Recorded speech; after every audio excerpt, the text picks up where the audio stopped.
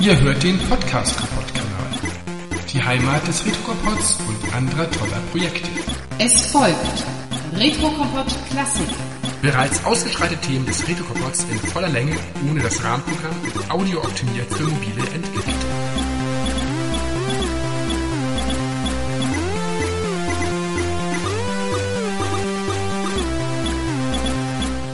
Zur hundertsten Folge des Retro-Kompots haben wir uns was Besonderes ausgedacht und das Ganze, die Idee kam uns äh, ja beim Podcamp dieses Jahr, denn dort waren auch die beiden äh, Hoaxillas, sag ich mal, Alexander und Alexa und das könnte man noch kombinieren. Ich hoffe, ihr beide seid schon mal in der Leitung. Das sind das wir auf sind jeden wir. Fall. Hi, schön, Hi. dass wir dabei sein. Und es ist erschreckend, wie lange das schon wieder her ist, Ja. äh, als wir so mal gesagt haben, lass uns was machen.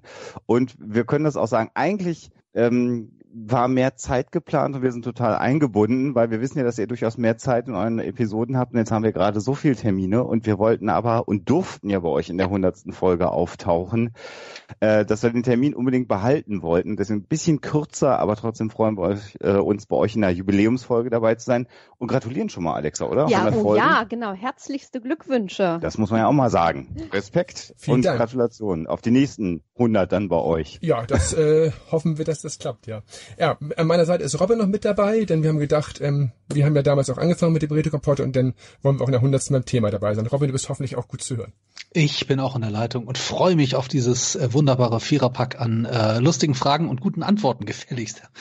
Aber wir müssen auch eingestehen, dass wir auch zeitlich im Augenblick eingespannt waren. Also wird alles gut und ich denke mal, wir können jetzt so ein bisschen uns mal um Mysterien zum Thema Computer, Computerspiele und überhaupt um diese ganze Legendenbildung kümmern, was Leute so über Computer behaupten. Ähm, was mich interessieren würde, diese ganze Mythengeschichte, wann schwappte das eigentlich auf die, die Computer über oder auf Computerspiele über oder auf die Spieler? Ähm, sind Mythen auf alles übertragbar? Weil die kommen ja eigentlich aus einer ganz anderen Ecke. Also, ähm, wenn du es jetzt, also vielleicht nochmal um ein bisschen äh, länger auszuholen. Ähm, ich weiß jetzt nicht, ähm, ob alle Hörer ungefähr wissen, was äh, wir bei Hoxilla so machen, was für einen Hintergrund wir haben. Äh, vielleicht nochmal ganz kurz vorweggeschickt. Äh, Alexander ist seines Zeichens Psychologe ähm, und ich habe ähm, europäische Ethnologie beziehungsweise Volkskunde an der Uni Münster studiert, meinen äh, Magister Artium äh, gemacht vor sehr, sehr vielen Jahren, 2003, ist also schon ewig her, und habe mich während des Studiums Mit ähm, zwölf hast du mit den zwölf, ja, genau. Vielen Dank. Das ist noch nicht retro. ähm, Dugi Hauser, Dugi Hauser, äh, Genau. grüßen. Ähm, und ähm, habe mich mit Erzählforschung beschäftigt. So, Erzählforschung äh, grob äh, beschäftigt sich mit Märchen, also diesen Geschichten hier Kinder- und Hausmärchen, äh, die die Brüder Grimm gesammelt haben, also mündlich überlieferte ähm, ja, Volkserzählungen. Dann äh, gibt es Legenden. Legenden beschäftigen sich traditionell, äh, traditionell mit heiligen Geschichten. Ähm, und dann äh, kommen wir zu den Mythen. Äh, Mythen sind eigentlich, kennt man ja auch griechische, römische Mythologie und so weiter, Göttergeschichten, ähm, Ursprungsgeschichten, Schöpfungsgeschichten, so etwas in der Richtung. Dann gibt's noch äh, moderne Sagen ähm, zum Beispiel, ähm, mit denen beschäftigen wir uns bei Huxilla besonders gerne. Also zum Beispiel solche Geschichten wie die Spinne in der Juckerpalme, also Geschichten wie äh, Rolf Wilhelm Bretnich in seinen Büchern gesammelt hat. Ähm, das ist so mal jetzt eine ganz grobe Unterteilung. Ähm, das, Das heißt, äh, äh, willkommen in meiner Welt. Ihr habt das, den Begriff Mythos falsch und sehr verwendet. Und das mit einer Volkskundlerin zu machen, ist mal risikoreich. Ja. Ich Ja, glaube, ja. was, aber äh, natürlich, der Volksmund unterscheidet da natürlich nicht und wir alle wissen Also wir was sagen ihr meint. heute alles äh, Mythos Marilyn Monroe, ne, wird Genau. ganz äh, häufig verwendet, wobei ja Marilyn Monroe auch gerade oft als Leinwandgöttin bezeichnet wird. Dann äh, bist du schon wieder irgendwie zumindest so im, im selben äh, Genre so ein bisschen. Ähm, aber das, worüber wir, glaube ich, heute ähm, sprechen, ähm, sind zwar, also was man im Volksmund vielleicht inzwischen auch als Mythos bezeichnen Oder würde. Also heutzutage als, als Fake News. ja, sowas ein bisschen oder sagen wir mal häufig verbreitete Irrtümer in Bezug auf Computerspiele. Ja. Wenn ich die Folge so nennen würde, dann ist sie zu lang. Ist zu lang. Wird, wird Also, das kein Mensch Es einschalten? ist hast auch recht. wahnsinnig schwierig, als Rolf Wilhelm Bretnich überlegt hat, ja, wie nenne ich denn diese komischen Geschichten, die ich da sammle in meinen Büchern? Da hat er ganze Absätze darüber geschrieben, wie schwierig das ist. Ähm, moderne Sagen ähm, ist ein Begriff, den kann man verwenden. Dann sagen viele Forscher auch Großstadtsagen, weil die im urbanen äh, Umfeld oft stattfinden, aber manche eben auch nicht. Dann passt es wieder nicht so gut. Ähm, er hat dann einen längeren Begriff auch verwendet, nämlich fantastische Geschichten von heute. Und wenn du so ein Buch nennst, äh, Da weiß also erstmal kaum einer, was gemeint ist, ob das dann irgendwie Fiktion ist oder so. Ähm, und ist auch viel zu lang. Also moderne Sagen hat sich dann irgendwie durchgesetzt. Also die, allein diese Begriffsfindung ist nicht so ganz leicht. Aber eure Eingangsfrage war ja, warum und wann äh, ist das auf Computerspiele äh, übergegangen und äh, rübergeschwappt? Und ähm, wenn wir jetzt ähm, mal bei dem Begriff ja, Irrtum oder, oder Hoax oder moderne Sage oder wie auch immer bleiben, ähm, wo ich zum Beispiel, da kommen wir ja auch vielleicht nachher noch drauf, solche Geschichten wie äh, die mit dem Polybius äh, Game einordnen würde. Ähm, solche Geschichten verwandeln sich oder, oder nutzen, sagen wir mal, ältere Motive und wandeln sich aber genau in dem Maße, wie sich die Gesellschaft auch wandelt. Es gibt moderne Sagen, die werden heute mit Autos erzählt, die gibt's aber schon überliefert aus dem 19. Jahrhundert mit Pferdefuhrwerken. Also in dem Augenblick, wo sich die Technologie verändert, wo sich die Gesellschaft verändert, wo sich eben auch, wie im Computerspielen, auch die mediale Landschaft verändert, verändern sich auch diese Geschichten und diese ganz alten Motive, die da auftauchen, diese ganz alten gesellschaftlichen Ängste und Vorurteile, die werden dann eben auch auf neue Medien und neue Technologien übertragen. Und insbesondere bei Computer ist es ja, oder Computerspielen, kann man ja sagen, in dem Moment, wo das Medium da war, ähm, und da denke ich so ganz weit zurück, äh, sogar noch vor meine Zeit, die ich vom, vom Rechner äh, verbracht habe oder vor Spielkonsolen. Also ich bin Baujahr 75. Aber sowas wie das Intellivision zum Beispiel von Mattel seinerzeit und dann später natürlich die Atari 2600 äh, Spielekonsole. Da hat man ja schon darüber diskutiert, was für einen schädlichen Einfluss äh, das auf Jugendliche haben kann. Das ist ja also diese Irrtümer rund um Computerspiele. Äh, ich denke, das, das wird ja der Kern auch der Dinge sein, über die wir heute reden. Ähm, und insbesondere gerne darüber geschrieben und problematisiert hat natürlich, das muss man auch mal sagen, äh, zum Beispiel das Fernsehen, was ja davor die Kinder ruiniert hat. Also da war ja, ne, das ist also immer davor waren es die Bücher. Davor mhm. waren es die Bücher. Äh, also letztendlich aber klar natürlich mit der Verfügbarkeit der Medien und der sagen wir mal, Passivität der Nutzbarkeit. Also Fernsehen tatsächlich, also wir sind uns eigentlich ein Kind einfach von Fernseher zu setzen, damit es beschäftigt ist, ist jetzt nicht das Höchstmaß an Erziehung.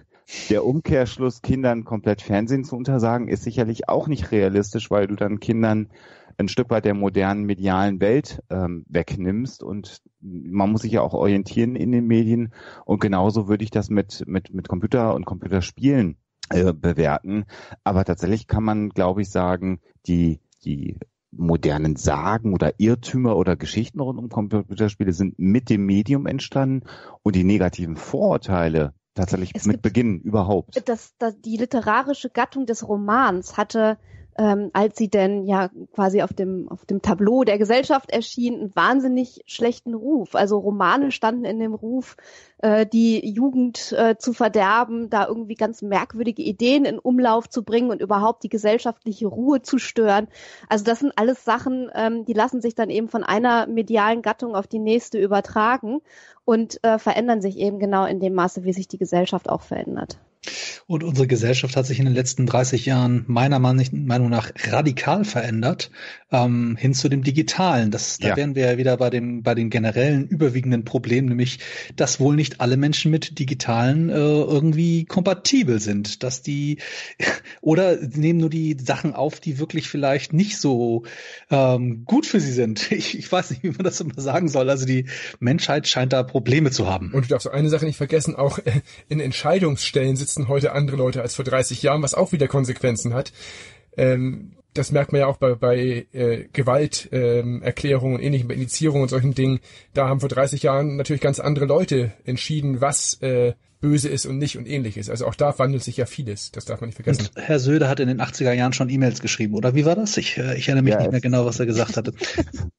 Zumindest, ja. oder was der Innenminister, also irgendeiner. Das war der Innenminister, der schon in den 70ern gesurft, glaube ich. Ja. Entschuldigung, ja. Ja, ja, okay. im, im DARPANET damals, wo nur ganz wenig Leute dabei waren. Aber ich glaube, wir sind ja, äh, wenn ich zumindest uns drei Herren, Alexa ist ja Jahrzehnte jünger als wir, aber mal zusammennehme. Ja. Gerade 18 geworden. Gerade 18 geworden, Alexa. Äh, wir sind ja, wir sind ja, glaube ich, auch so eine Generation von Early Adoptern. Also das würde ich mal für uns drei Herren auf jeden Fall sagen und äh, irgendwie ja positiv dem Medium Computer und Computerspiel gegenüber geprägt, sonst würdet ihr ja auch nicht das machen, äh, was ihr macht. Vorurteilslos.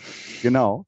Ähm, äh, und insofern ähm, ist ja Computerspiele als Medium, als Unterhaltungsmedium äh, äh, das eine und Internet, du hast es gerade gesagt, finde ich nochmal anders. Und ich frage mich tatsächlich heute, ob wir insgesamt als Gesellschaft, also ich würde sagen, ich kenne mich ganz gut aus, aber ob wir insgesamt als Gesellschaft insbesondere das mobile Internet und die, die Folgen davon, also immer und zu jeder Zeit auch selber was zu schreiben und äh, unter Umständen Fake News zu verbreiten auf Facebook, ob wir das überhaupt schon verdaut haben als Gesellschaft. Und ich komme mehr und mehr zu dem Punkt, dass ich sage, nee, eigentlich nicht.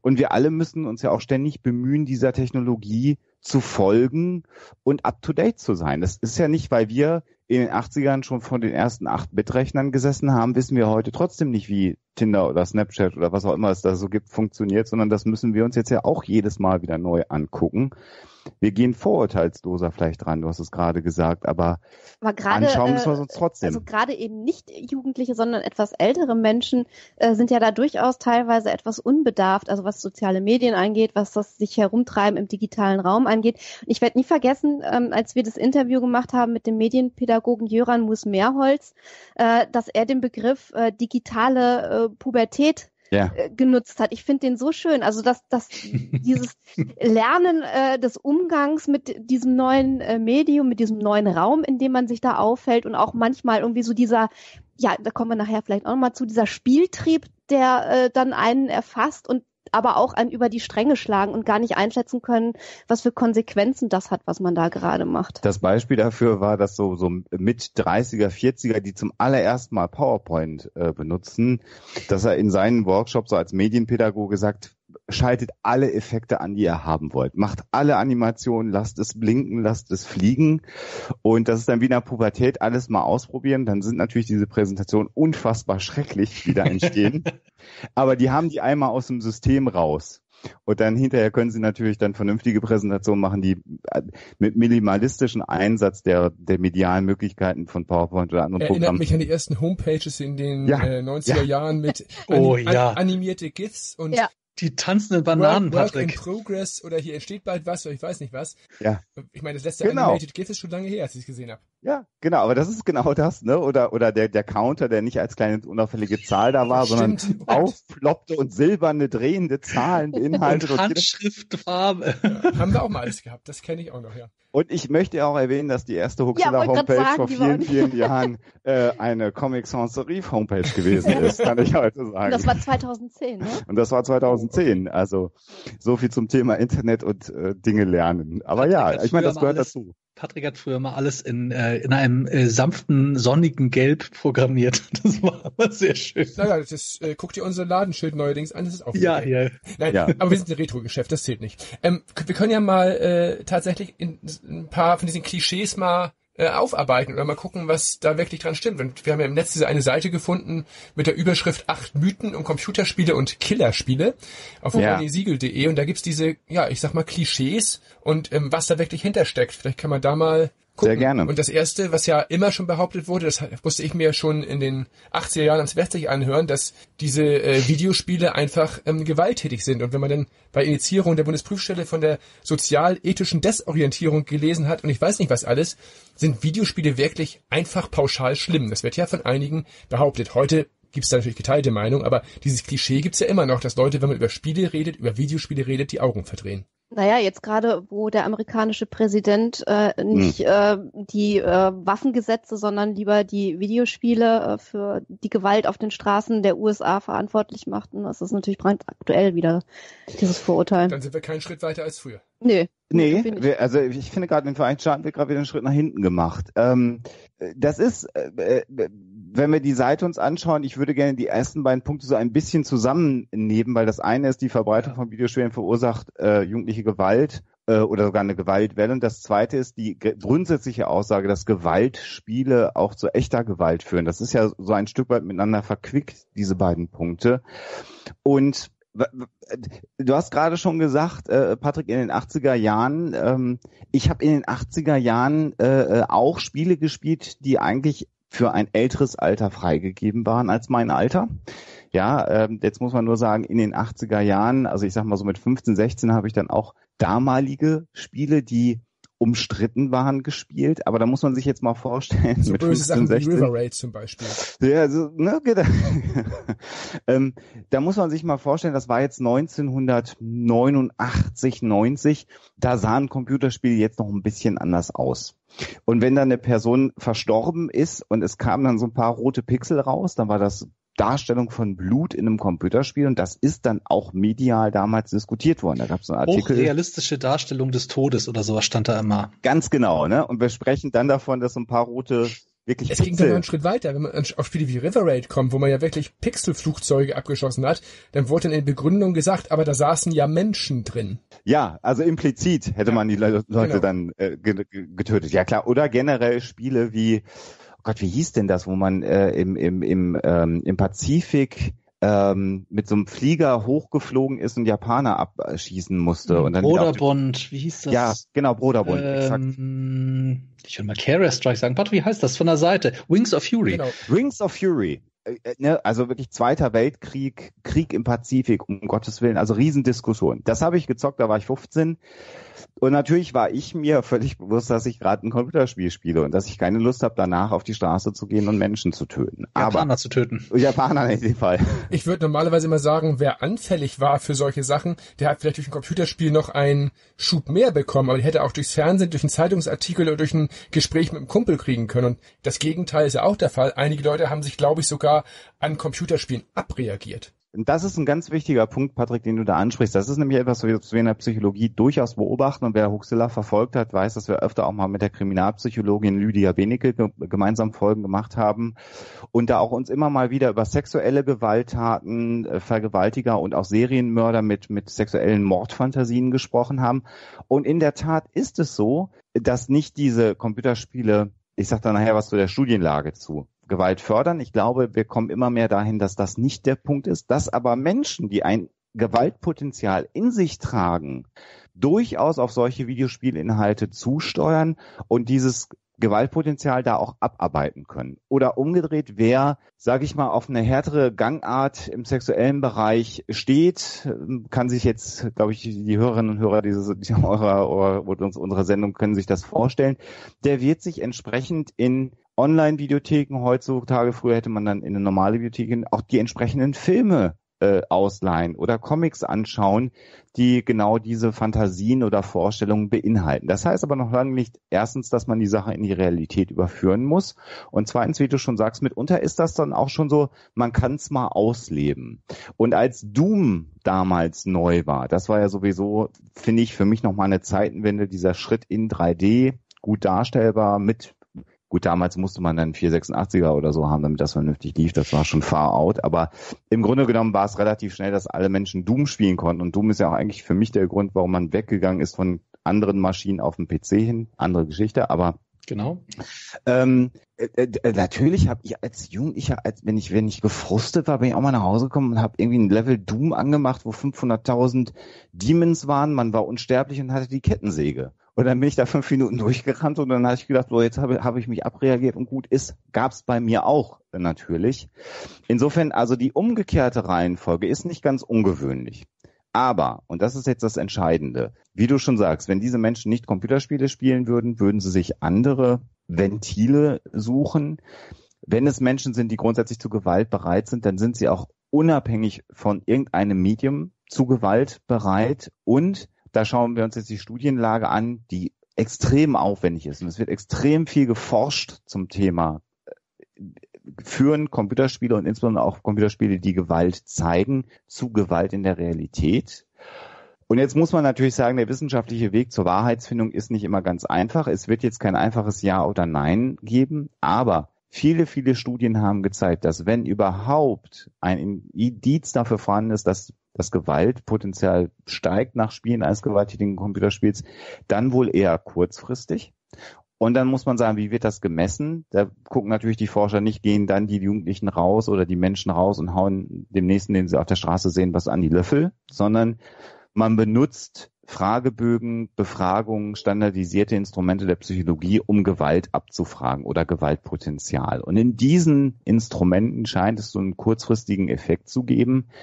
Es gibt jetzt aber eine ganze Reihe von Langzeitstudien, die sich mit dem Thema befasst haben. Äh, das UKE hier in Hamburg hat auch vor einiger Zeit im letzten Jahr eine etwas größer angelegte Studie veröffentlicht, wo Erwachsene und auch keine Jugendlichen äh, GTA gespielt haben, GTA 5, die Sims oder gar nicht Computer gespielt haben, also so ein klassisches Kontrollgruppendesign, also Gewalt äh, beinhaltendes Spiel versus kreativ versus genau versus gar nicht spielen. Und da war es also so, dass man keinen Anstieg feststellen konnte im Vergleich zwischen der GTA-Gruppe und der Sims-Gruppe. Das heißt also, Sims-Spieler sind gefährlich. naja, oder genauso ungefährlich wie die GTA-Spieler. Genau. Ich würde es eher so rumformulieren natürlich. Das heißt, diesen harten wissenschaftlichen Beleg dafür, dass das, was die Gesellschaft generell immer unterstellt, wer gewalttätige Computerspiele spielt, ist auch gewalttätig den gibt es nicht. Jetzt hebt meine Frau hier gerade den Finger und will was sagen. Äh, ja, ich wollte, ähm, äh, vielleicht schließt sich das daran an, äh, noch anmerken, ähm, dass hinter diesen ähm, ja, Geschichten, hinter diesen Horrorszenarien, die da auch viel verbreitet werden, ähm, ganz bestimmte Ängste stecken. Also du hast natürlich äh, zum einen äh, diejenigen, die sagen, das muss man wissenschaftlich untersuchen, äh, ob da ein Zusammenhang besteht und was zuerst da war, die Henne oder das Ei, das gewaltbereite Verhalten oder die Computerspiele. Ähm, es gibt aber auch durchaus und gerade in den USA Gruppen, die da eine sehr, sagen wir mal so, äh, überbordende und irrationale äh, Angst haben ähm, und die gibt es eben nicht nur im Zusammenhang mit Videospielen. Ähm, da poppt das dann auch wieder auf. Und auch das spielt ja äh, in dieser ganzen modern, äh, modernen Sage oder, oder Urban Legend von Polybius eine Rolle. Aber auch im Zusammenhang mit solchen ähm, Kettenbriefen äh, und Spielen wie der Blue Whale Challenge, nämlich die Angst, dass entweder Videospiele oder eben solche Challenges im Netz einen einen, einen jugendlichen Menschen, der ganz normal ist, völlig unauffällig und ähm, gesellschaftskonform sich verhält, in seinem Verhalten so verändern können, dass er auf einmal ausrastet ähm, und gewalttätig wird oder ein, ein völlig andere Charakterzüge aufweist als vorher. Also eine Angst da, davor, dass ähm, eben subliminale Botschaften verbreitet werden ähm, und dann die Jugendlichen komplett verändert werden in ihrem ganzen Auftreten und Verhalten. Und das ist eine, eine, ähm, ein Angstszenario, was sich in ganz vielen modernen Sagen halt äh, niederschlägt und was nicht unbedingt mit der aktuellen und tatsächlichen Forschungslage zu tun hat. Das heißt also, man hat natürlich einmal den Bereich der Menschen, die das sagen, man muss das eben äh, wissenschaftlich untersuchen. Man hat aber auch ähm, Gruppen von, weiß nicht, Eltern oder so, die sich da zusammenschließen und eben diese Horrorszenarien verbreiten. Und da muss man vielleicht durchaus äh, auch differenzieren und diese unterschiedlichen Szenarien und angstbesetzten äh, Motive unterschiedlich betrachten. Ich möchte aber jetzt ein kleines Aber noch einschieben.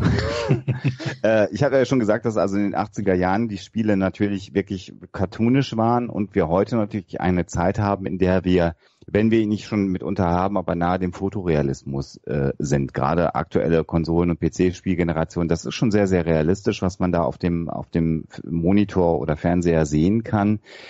Und man muss sich jetzt natürlich hier fragen, wenn wir über das Thema Kinder- und Computerspiele sprechen, welche Verantwortung haben letztendlich Eltern? Also es gibt eine Altersfreigabe man muss sich natürlich fragen, und das passiert immer, das wissen wir natürlich, dass Kinder sich Inhalte besorgen, ähm, die nicht ihrem Alter entsprechen. Kinder trinken auch unter Umständen mal eher Alkohol, als sie 16 sind, also ne, das erste Bier vor 16, aber das sind ja immer Ausnahmesituationen.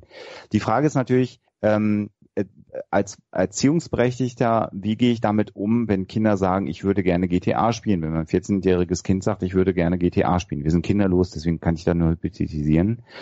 Aber da muss man sich dann überlegen, ist denn das Kind reif genug dafür? Genauso wie ein Splatter-Horrorfilm. Man muss sich dann ja auch fragen, zeige ich meinem 14-jährigen Kind einen Splatter-Horrorfilm, ja, oder gucke ich mit dem Kind einen, das muss ja nicht mal blutig sein, ein, ein, ein Psycho-Horrorfilm, ja, gucke ich den ersten Alien-Film mit einem kleinen Kind, einem wirklich noch jugendlichen Kind, das vielleicht sogar noch Angst vor einem Monster unterm Bett hat. Ob dann so der Film Alien ähm, zum Beispiel ein, ein, guter Film wäre, um den mit dem Kind zu gucken, sei mal dahingestellt. Das heißt, die Verantwortung natürlich, welche Inhalte medialer Natur, und da schließe ich alle Medien mit ein, die ich meinem Kind zugänglich mache, sollte natürlich nach wie vor in der Entscheidung der Eltern sein und viel wichtiger noch, Eltern sollten Interesse daran haben. Und wenn das 14-jährige Kind reif ist und weiß, was es tut und sagt, ich möchte GTA spielen, und man mal fragt, was findest du denn daran interessant, dann ist es ja auch interessant zu hören, warum das Kind sich für ein bestimmtes Computerspiel entscheidet. Und wenn es relativ klar formulieren kann, das macht Spaß und das, ich weiß, das ist das Spiel und da kann man verrückte Situationen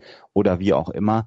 Also wenn man den Eindruck hat, das Kind kann reflektieren, was es da tut, und nicht sagen, ich stelle mir vor, das sind meine Mitschüler oder andere Dinge, was auch immer, ähm, dann ist es dann natürlich auch eine Entscheidung des Erziehungsberechtigten zu sagen, kannst du spielen oder kannst du nicht spielen. Nur man sollte nicht die Erziehung irgendwo abgeben, so wie auch gerne die Erziehung inzwischen an die Schule abgegeben wird, sondern erziehen muss man sein Kind selber und sein Kind kümmern muss man sich selber. Das heißt, da sollte man auch sehr genau darauf achten und für sich mit dem Kind zusammen und der Einschätzung des Kindes entscheiden, was das Kind verkraften kann oder nicht. Und umgedreht gibt es ja auch durchaus didaktisch sehr schöne Spiele.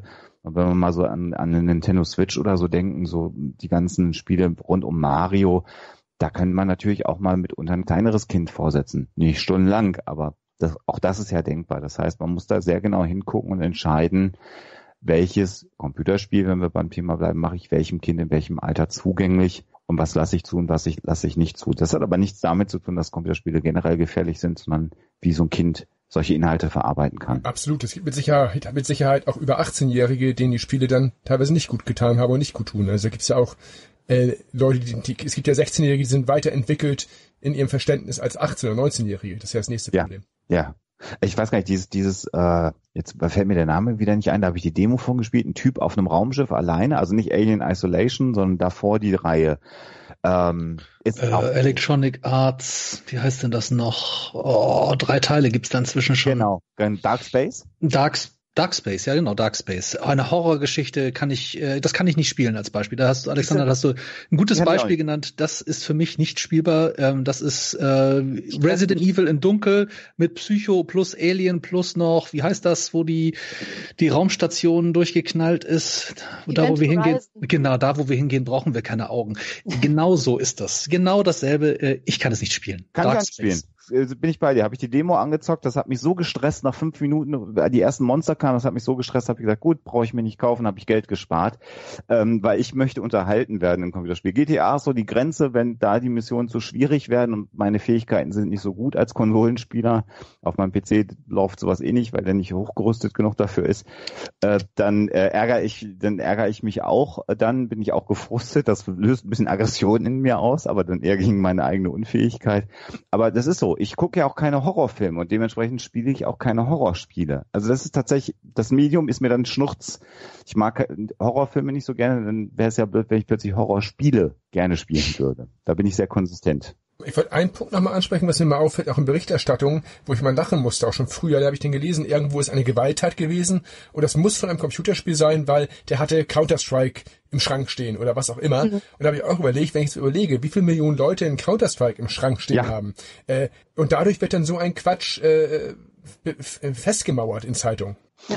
Also natürlich würden wir alle, also selbst ich habe irgendwann zumindest nicht die Kaufversion, aber mal Counter-Strike bei mir auf dem Rechner gehabt, obwohl ich auch generell dem Shooter-Genre gar nicht so zugetan bin. Aber natürlich, was wir hier haben möchten, ist, wir möchten natürlich nicht, wenn ein Jugendlicher Amok läuft, eingestehen, dass wir als Gesamt Gesellschaft versagt haben. Das ist auch eine Form von Komplexitätsreduktion, ne? Genau, da sind wir dann bei fast sowas wie bei einer Verschwörungstheorie. Wieder bei Trump. Ja, mhm. genau. Ja. Denn du müsstest dann ja äh, darüber nachdenken, also gerade wenn wir nach Amerika gucken, Amokläufe, wieso hat überhaupt ein Jugendlicher Zugriff auf automatische Waffen zum Beispiel? Das ist ja eine völlig berechtigte Frage, unabhängig davon, nein, was nein. der in seinem Schrank stehen hat. Ne? Genau. Äh, und all diese Themen sollen ja nicht aufgemacht werden. Und die Waffenlobby gerade in den Vereinigten Staaten, das ist keine Verschwörungstheorie, haben einen unglaublichen wirtschaftlichen Machtfaktor. Und auch und gesellschaftlichen Faktor. Ne? Also die, die halten auch in, in ländlichen Gegenden, ähm, sind die so mit der, mit der Gesellschaft, mit der Community verwoben, dass der Einfluss, den sie auf die Gesellschaft ausüben können, gar nicht überschätzt werden kann. Also das, ja, wo, wo in Deutschland immens. über die, die Kirche auf dem Land diskutiert wird. Jetzt die, die NRA in ist, den USA. Ist die NRA, die Waffenlobby ja. in den Vereinigten Staaten. Ähm, und natürlich ist es da viel einfacher, eine Kausalität herzustellen, zu sagen, ja, das kommt das Spiel schuld. Ähm. Aber du hast völlig recht, Patrick. Wenn, wenn, wenn das eine Kausalität wäre, dann äh, würde man gerade auch in einer Großstadt wie Hamburg wahrscheinlich äh, nur von, von Deckung Deckung ja. hechten. Ja, ja, oder hechten immer nur so von Blumenkübel zu Blumenkübel, weil natürlich rings um dich rum geschossen wird. Überall sind die Scharfschützen. Ja. Die Lame Snipers, die überall. Ich, da fällt mir eine Sache zu ein. Ich bin ja ähm, immer mal wieder, ich gerade in den Zeiten, wo wir äh, in Amerika das Columbine-Massaker war, das ja. war ja ein großer Trend. Ähm, daraufhin dann plötzlich äh, bayerische Politiker sehr gerne haben dann darauf hingewiesen, dass ja die Shooterspiele schuld sein müssen. Die Jugendlichen würden ja immer weiter verrohen und wie bei beim zweiten Mythos Gewaltspiele führen, führen zu echter Gewalt. Und dazu der Film rauskam Bowling for Columbine. Mhm. Und ähm, da, da ja einfach die Frage gestellt worden ist, kann es sein, dass die einfach Amok gelaufen sind in der Schule, weil sie einen schlechten Tag beim Bowling erwischt haben.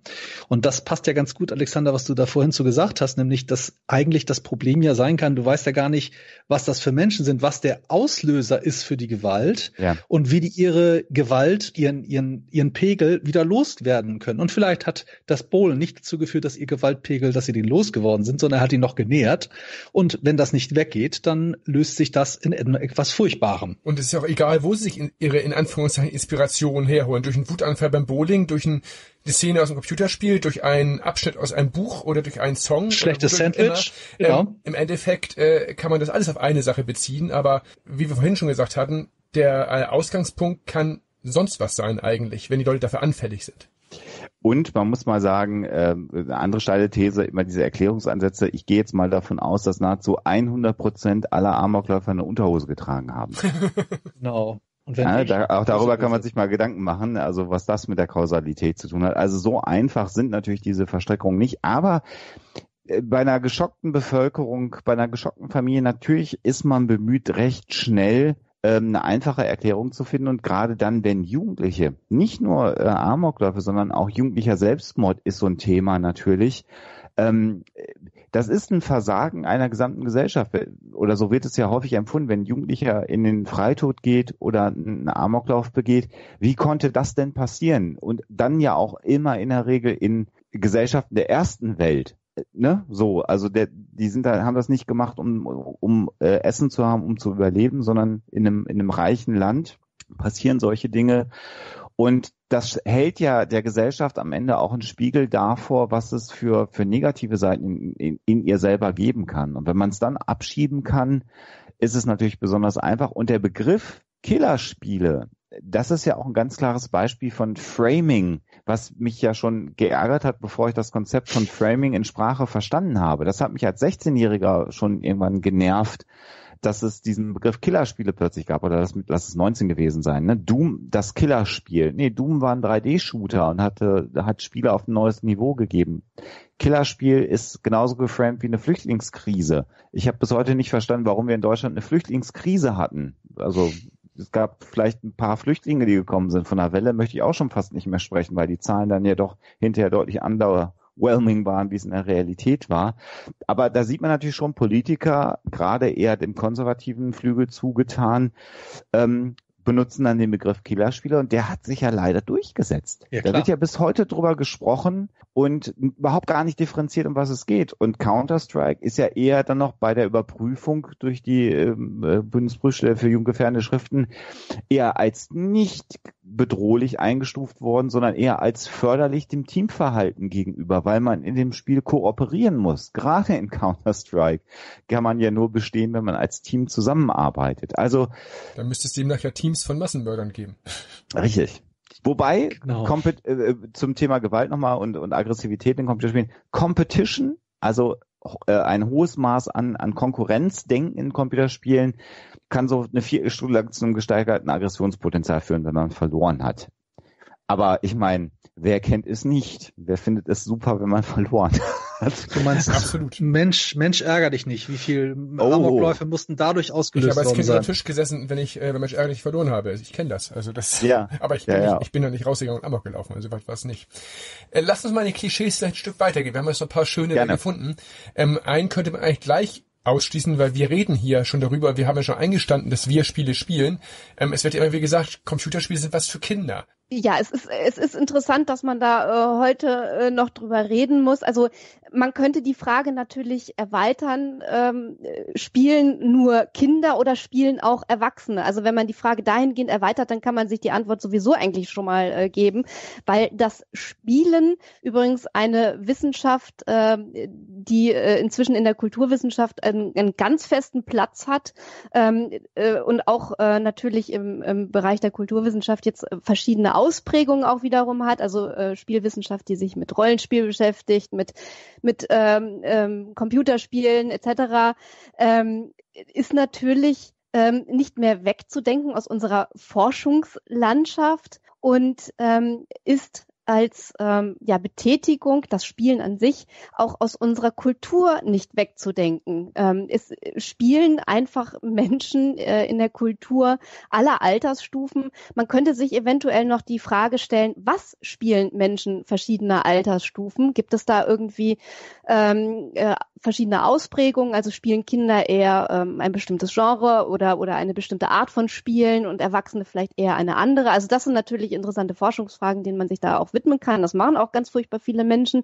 Aber dass das Spielen fest verankert in unserer Kultur ist, alle Altersstufen betrifft und ähm, einfach wahnsinnig spannende Fragen auch für unsere gesellschaftliche Funktionalität aufwirft, äh, glaube ich, steht vollkommen außer Frage. Und da kann man sich dann eigentlich nur noch aussuchen, welchem Fachgebiet, welcher Forschungsfrage man sich gerne widmen möchte. Und dann kann man sich so richtig austoben. Sieht man ja bei den Handyspielen auch. Da wird ja, da spielen ja, ja alle Altersschichten dran. Diese ja. Casual-Spiele auf den Handys werden von äh, älteren Frauen, älteren Männern und Kindern teilweise gespielt. Und andere Genres, das hast du ganz richtig auch gesagt eben, sind ja vielleicht ein bisschen spezieller für männliche oder weibliche Spieler. Ja. Aber grundsätzlich spielen sie doch alle, egal wie alt, egal aus welcher Sozialisation. Ja. Völlig richtig, aber was man natürlich auch sagen muss, wir sind die Generation, äh, die aufgewachsen mit Computerspielen. Wenn man jetzt aber schaut, wer im Moment das politische Klima bestimmt, dann ist es aber immer noch eine Generation über uns, die nicht mit Computerspielen aufgewachsen sind. Und ich glaube, das ist auch ein Stück weit das ist jetzt eine Verschwörungstheorie oder eine Meinungsmache, die ich hier mache. Aber einer der Gründe, warum der gesellschaftliche Diskurs in diese Reihe geht. Und natürlich sind die Menschen, die stark Computerspiele kritisieren oder sagen, das machen ja nur Kinder, genau die, die eben nicht als Erwachsene spielen. Mein Spielverhalten als Erwachsener hat sich geändert. Ich habe in meiner Jugend viel gespielt, je älter ich wurde, weniger. Das hat aber was mit Zeit aber zu das, tun. Aber das sind vielleicht auch viel äh, Menschen, die sich einfach auch gar nicht bewusst sind, was sie da gerade machen. Also das ja. sind wahrscheinlich auch der Politiker, der sagt, ja, Killerspiele böse und so und nur Kinder spielen, ist vielleicht trotzdem der, der irgendwie auf dem Handy solitär spielt oder weiß der Geier was, ja. aber sich gar nicht klar macht, ne, was er da gerade tut. Ja. Also insofern glaube ich, äh, sind da einfach ganz viele Irrtümer im Umlauf und äh, wenn man sich einmal nur bewusst macht, was man da gerade äh, tut und ähm, äh, was die gesellschaftliche Struktur überhaupt ausmacht, was unsere Kultur ausmacht, äh, dann wird man sich ganz schnell dessen, der Tatsache bewusst, dass das ein Irrtum Aber ist. Das löst, das löst sich ja von selbst. Äh, was ich vorhin schon sagte, ich habe einen Bericht letztens von der USK gesehen, wo jetzt jüngere Leute in den Gremien, in den Stimmt. Vorständen sitzen, wo jüngere Leute äh, Prüfberichte vorlegen oder diese Prüfungen vornehmen oder auch diese Expertenberichte abgeben. Ähm, und da kommen natürlich jetzt ganz andere Ergebnisse raus, weil die sind anders mit Computerspielen aufgewachsen oder sind überhaupt mit Computerspielen aufgewachsen, wie die Leute, die da in den 80er Jahren, äh, ich sage jetzt mal ganz klischeehaft im Rentenalter vom Rechner standen und nicht wussten, wo der An- und Ausschalter ist und sich Kinder ja. von der Straße holen mussten, die ihnen zeigen, wie man eine, äh, eine Taste drückt. Also das hat sich schon ganz schön verändert. Das wird ja doch immer mehr in die Richtung gehen. Mhm. Definitiv. Äh, und die, die, die, die, äh, die Dimension von Computerspielen ist ja auch die Tatsache, dass ähm, wie heißt denn dieses Jules-Spiel auf dem Handy, dass das absolut beliebteste Candy ja, Crush. Ja, ja Candy Crush, Crush. Ja. danke. Genau. Wenn, wenn man bedenkt, dass Candy Crush für mehr Geld verkauft worden ist als die gesamte Star Wars Lizenz von George Lucas an Disney, dann sieht man doch aber auch, wie der gesellschaftliche Impact und der wirtschaftliche Impact von Computerspielen natürlich ist. Und wenn nur Kinder Computerspiele spielen würden, wir wissen, Kinder sind ein kaufstarkes Segment natürlich in der Gesellschaft, auch durch Geschenke und solche Geschichten, gar keine Frage.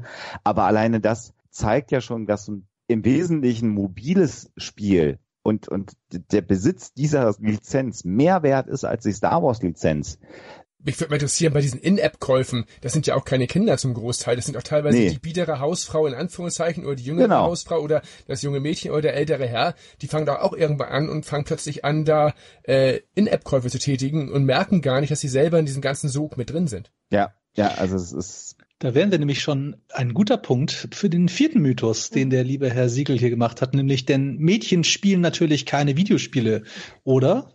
Äh, liebe Alexa, ja, das ist, äh, das ist natürlich auf demselben Level äh, im Prinzip anzusiedeln wie äh, nur Kinderspielen, äh, Videospiele.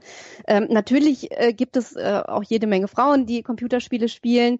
Ähm, es ist vielleicht natürlich so, äh, dass weibliche äh, Gamer oder Gamerinnen in dem Fall ähm, auf andere, sagen wir mal so, äh, Obstacles stoßen, was, was, die, was die Szene angeht, dass sie eben mit anderen Problemen äh, zu kämpfen haben als männliche ähm. Aber äh, die Tatsache, dass auch Frauen äh, Videospiele spielen, ist, glaube ich, einfach nicht mehr von der Hand zu weisen. Es gibt, wenn ich mir allein angucke, ähm, wie viele Videogame Historians es auch äh, gibt, äh, weiblicher äh, Natur, äh, die sich eben mit dem Thema beschäftigen, dann ist allein das schon ein Beleg dafür, dass das Thema auch für Frauen absolut relevant, interessant und auch als Forschungsfrage eben immens spannend ist. Und von YouTube-Channel von, von spielenden Frauen mal ganz abgesehen, die auch die Gamescom. Wir kommen gerade von der Gamescom und wir hatten da sechs, äh, zwölf Spielestationen und da war ich will, über die Hälfte zeitweise von Frauen belegt und das ja. waren nicht immer nur ja. die Pac-Man-Spiele. Also das äh, fällt auf und das wird gefühlt auch tatsächlich jedes Jahr mehr. Also ich würde inzwischen sagen, da ist gar nicht mehr der essentielle Unterschied, ob Mädchen oder Jungs spielen oder Männer oder Frauen. Mhm.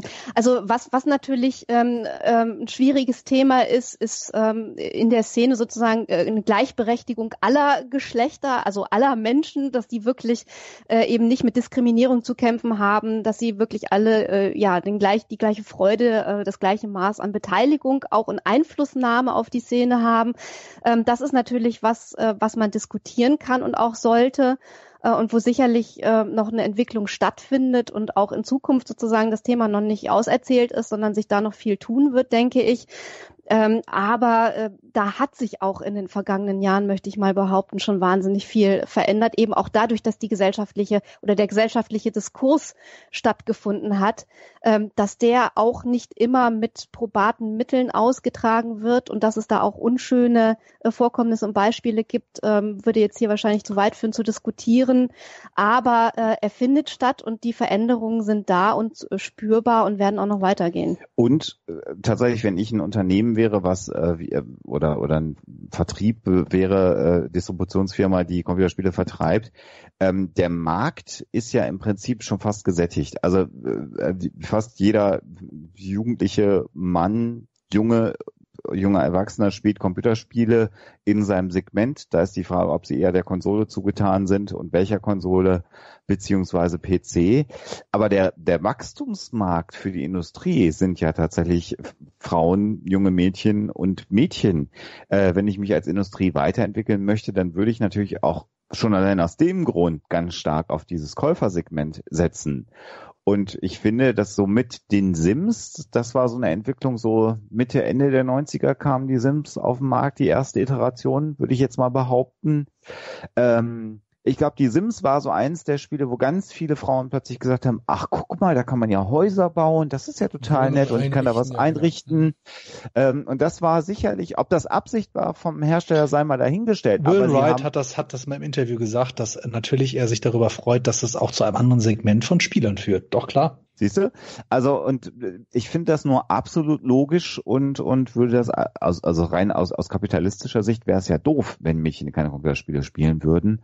Und eure Beobachtung ist, glaube ich, auch das, was ich in, in den Statistiken, ähm, die ja jährlich auch abgefragt werden, zeigt. Die der Anteil von, von Mädchen und jungen Frauen wächst zunehmend in der Szene und dann auch, glaube ich, über die Genres hinweg. Also es ist eben nicht mehr so, dass Mädchen nur, nur Rosa äh, die Sims spielen. Genau. Mhm. genau.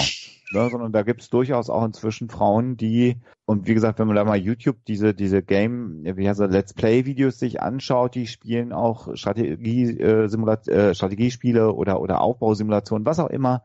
Ähm, ich glaube, das wird sich vermischen. Noch eine Generation weiter wird dieses Mann-Frau-Thema auch da kein Thema sein.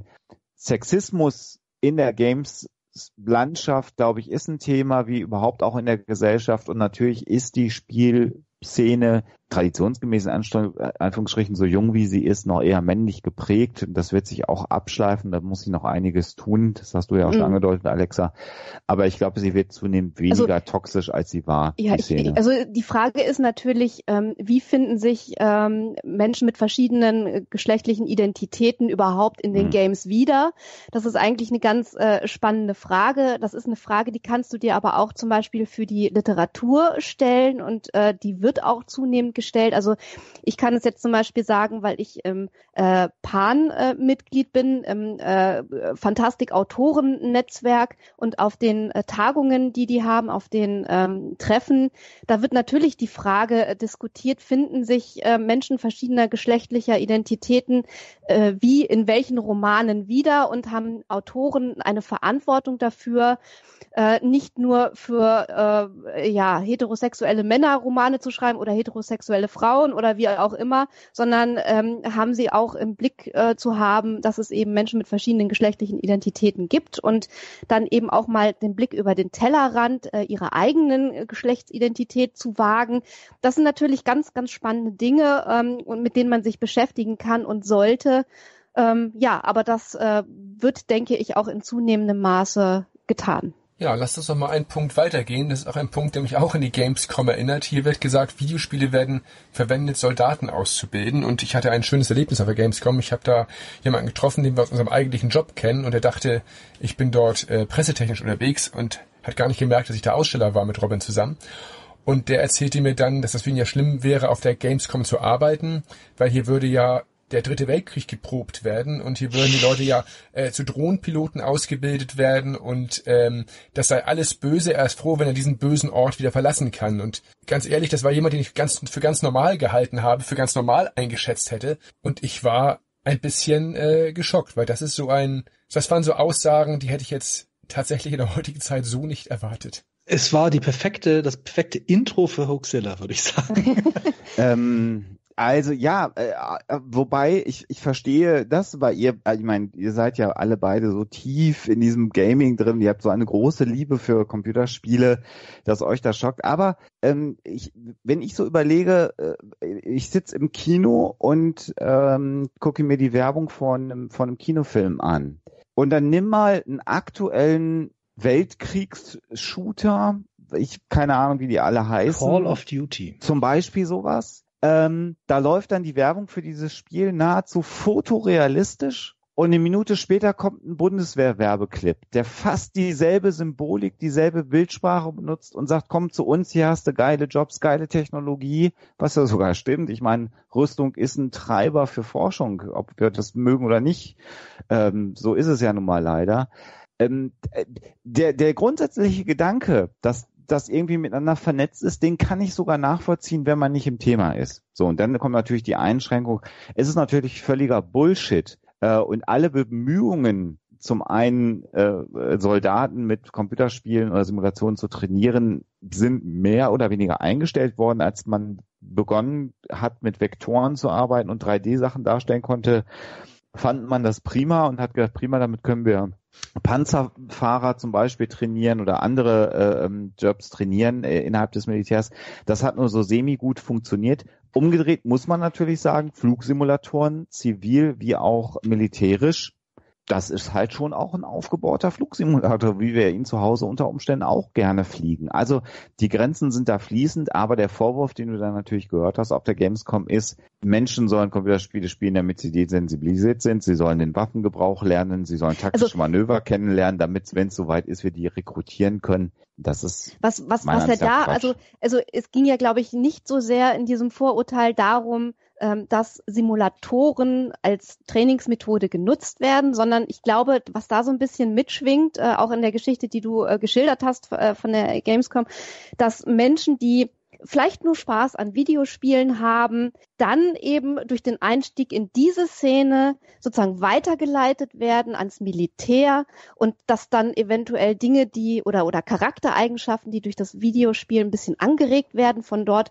quasi ausgebaut werden und der Mensch dann auch so ein bisschen verändert wird und dann irgendwie äh, der perfekte Soldat wird. Äh, also vielleicht etwas, äh, was er sonst nie äh, gemacht hätte, dass er dann halt irgendwie auf einmal als als äh, jemand äh, sich wiederfindet, der Drohnen steuert und irgendwie gar nicht weiß, wie das passiert ist, weil weil den irgendwie so diese Einstiegsdroge Videospiel dann zum Militär gebracht hat und von dort aus eben. Also ne, das sind halt auch wieder so, so ein bisschen so, so die, die Ängste, die wir haben äh, können, ähm, Videospiele Menschen derart verändern, dass sie dann eben äh, Dinge tun, die sie in normalen äh, oder unter normalen Umständen niemals auch nur angedacht hätten.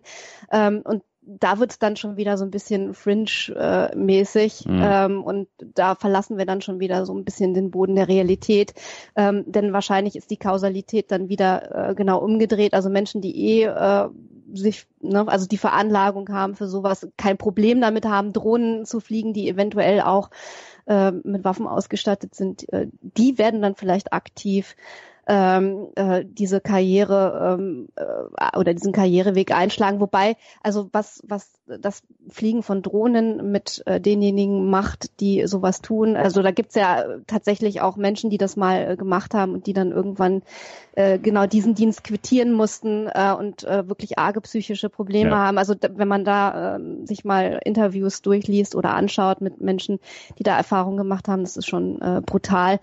Aber ähm, ja, es ist ein dummes Vorurteil. Ja. Ja, oder es ist halt eine, eine Angst, auch wieder ja. so ein angstbesetztes ja. Motiv, ne, was da eine Rolle spielt. So dieses irgendwie, ich kann es nicht genau einschätzen, könnte ja vielleicht so sein, ja. macht mir Sorgen, äh, weil ich mich nicht so genau auskenne damit. Ne, das ist halt schwierig. Ja, den nächsten Punkt können wir recht schnell machen. Also da wird hier per Seite geschrieben, dass Videospiele als Ausdrucksform keine Bedeutung haben, behaupten einige oder viele. Und da ist ja erstmal der Punkt, wenn man mal guckt, welchen Stellenwert heute Videospiele mhm. haben, welcher Umsatz damit gemacht hat, gemacht wird oder auch die Entwicklungskosten bei Produkten, da sind ja in vielen Bereichen schon die äh, Kosten oder auch die Erträge von Film und der Filmwirtschaft übertroffen worden inzwischen. Das ist definitiv der Fall. Äh, ob das die Ausdrucksform besser macht, sei mal noch dahingestellt. Aber ich kenne einige Computerspiele, die eine bessere Geschichte haben als Hollywood-Filme, äh, die ich mir dann reingequält habe. Und da habe ich dann gedacht, da hätte ich be besser lieber noch ein, ein, gutes Computerspiel gespielt. Ich glaube, wie bei allen Medien sind Computerspiele ein, ein, ein künstlerisches Medium mhm. auf einem sehr, sehr hohen Niveau inzwischen. Und von Musik über naja. auch die Stimmen. Ich meine, guckt euch mal die Synchronstimmen bei den Originalversionen, den amerikanischen und englischen Versionen an. Da geht sich ja auch die Hollywood-Schauspielriege inzwischen die Klinke in die Hand in den Synchronstudios, um die Stimmen für die Spiele zu generieren. Das ist eine ganz eigene Industrie geworden, stimme ich dir völlig zu. Und da gibt's gute Geschichten und schlechte Geschichten, so wie es gute sagen, und schlechte also, Bücher genau, gibt und gute und schlechte Filme. Das hätte ich jetzt nämlich noch angeschlossen. Also gerade wenn man jetzt äh, die Frage umformuliert, äh, Videospiele haben als künstlerische Ausdrucksform keine Bedeutung. Äh, ist natürlich vollkommener Blödsinn, aber ähm, es gibt äh, wie eben auch schlechte Filme, schlechte Bücher, ähm, schlechte äh, Kunstwerke, äh, gibt es eben auch äh, schlechte Videospiele, aber eben auch, auch gut. Ja. Ne, also es, ne, Kunst kommt, von, Kunst kommt von Können und nicht von Wollen, sonst hieß es Wunst. Also. das ist ein Spruch übrigens, mit dem ich aufgewachsen bin. Ich habe keine Ahnung warum. Okay. Aber jetzt konnte ich ihn endlich mal bringen. Nach Jahren im Podcasting.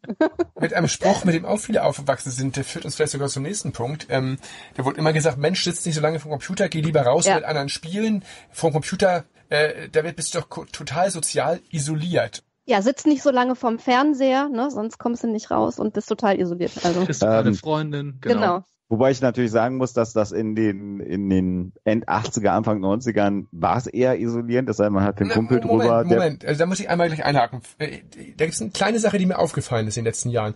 Früher habe ich mit mehreren Leuten vom 60 gesessen, da hatten wir einen Splitscreen oder haben Multiplayer-Spiele an einem Gerät gespielt. Heute sitzt man teilweise alleine vom Rechner und spielt übers Internet. Wann war man isolierter? Also das finde ich jetzt zu pauschal. Du, du, du, du nimmst immer einen Punkt weg, den ich machen wollte. Also wenn ich alleine, naja, ich stimme mir völlig zu, wenn ich alleine alleine gespielt habe, ich alleine gesessen. Ansonsten kamen Leute mit dem Competition Pro vorbei und man hat zusammengezockt äh, oder oder Disketten kopiert. Das ist das andere. war aber auch sehr sozial. Ähm, äh, und äh, äh, ich stimme dir völlig zu. Diesen diesen Multiplayer-Charakter. Also wer das noch halbwegs macht, das muss man tatsächlich sagen, als Hersteller ist Nintendo die haben ja immer noch so die Idee davon, dass Spielen so ein Event auch im Wohnzimmer ist mit mehreren Leuten. Ne? Also die Switch ist ja auch ein bisschen in die Richtung ausgelegt, aber ich stimme dir völlig zu. Multiplayer bedeutet heute eigentlich eher, ich sitze alleine vor einem Gerät und irgendwo anders in einem anderen Raum, entweder nebenan oder ein paar hundert Kilometer entfernt, sitzt jemand anders alleine vor seinem Gerät. Ähm, auch das ist nicht wirklich Isolation, weil man natürlich das Gefühl hat. Allerdings ähm, ähm, glaube ich, macht's wie in allen Dingen im Leben. Der Mix ist so ein bisschen. Das heißt, man kann natürlich auch mal alleine zocken.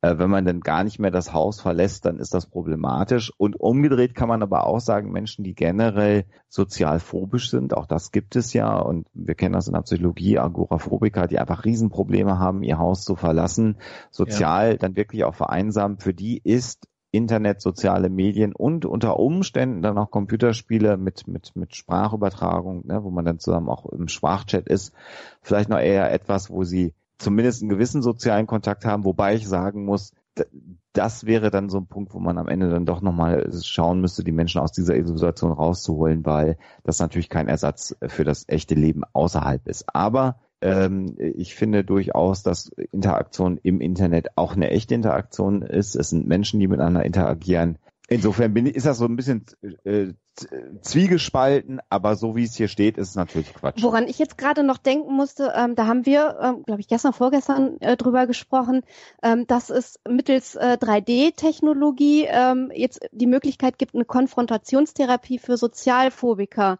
ja. äh, zu machen. Das heißt also, die äh, kriegen eine 3D-Brille aufgesetzt ähm, und werden dann in eine Situation geworfen, in eine Simulation einer Situation, die ihnen normalerweise Angst machen würde. Also, weiß ich nicht, ähm, stehen an der Kasse im Supermarkt, bedrängt von ganz vielen Leuten, die alle genervt sind oder ähm, das sich aufhalten auf einer Party äh, und können dann eben über diese Simulation solche Situationen einüben und damit umzugehen lernen, was ja auch wieder so eine Art spielerische Herangehensweise ist, Definitiv. wenn man äh, so möchte, was ich ganz interessant finde.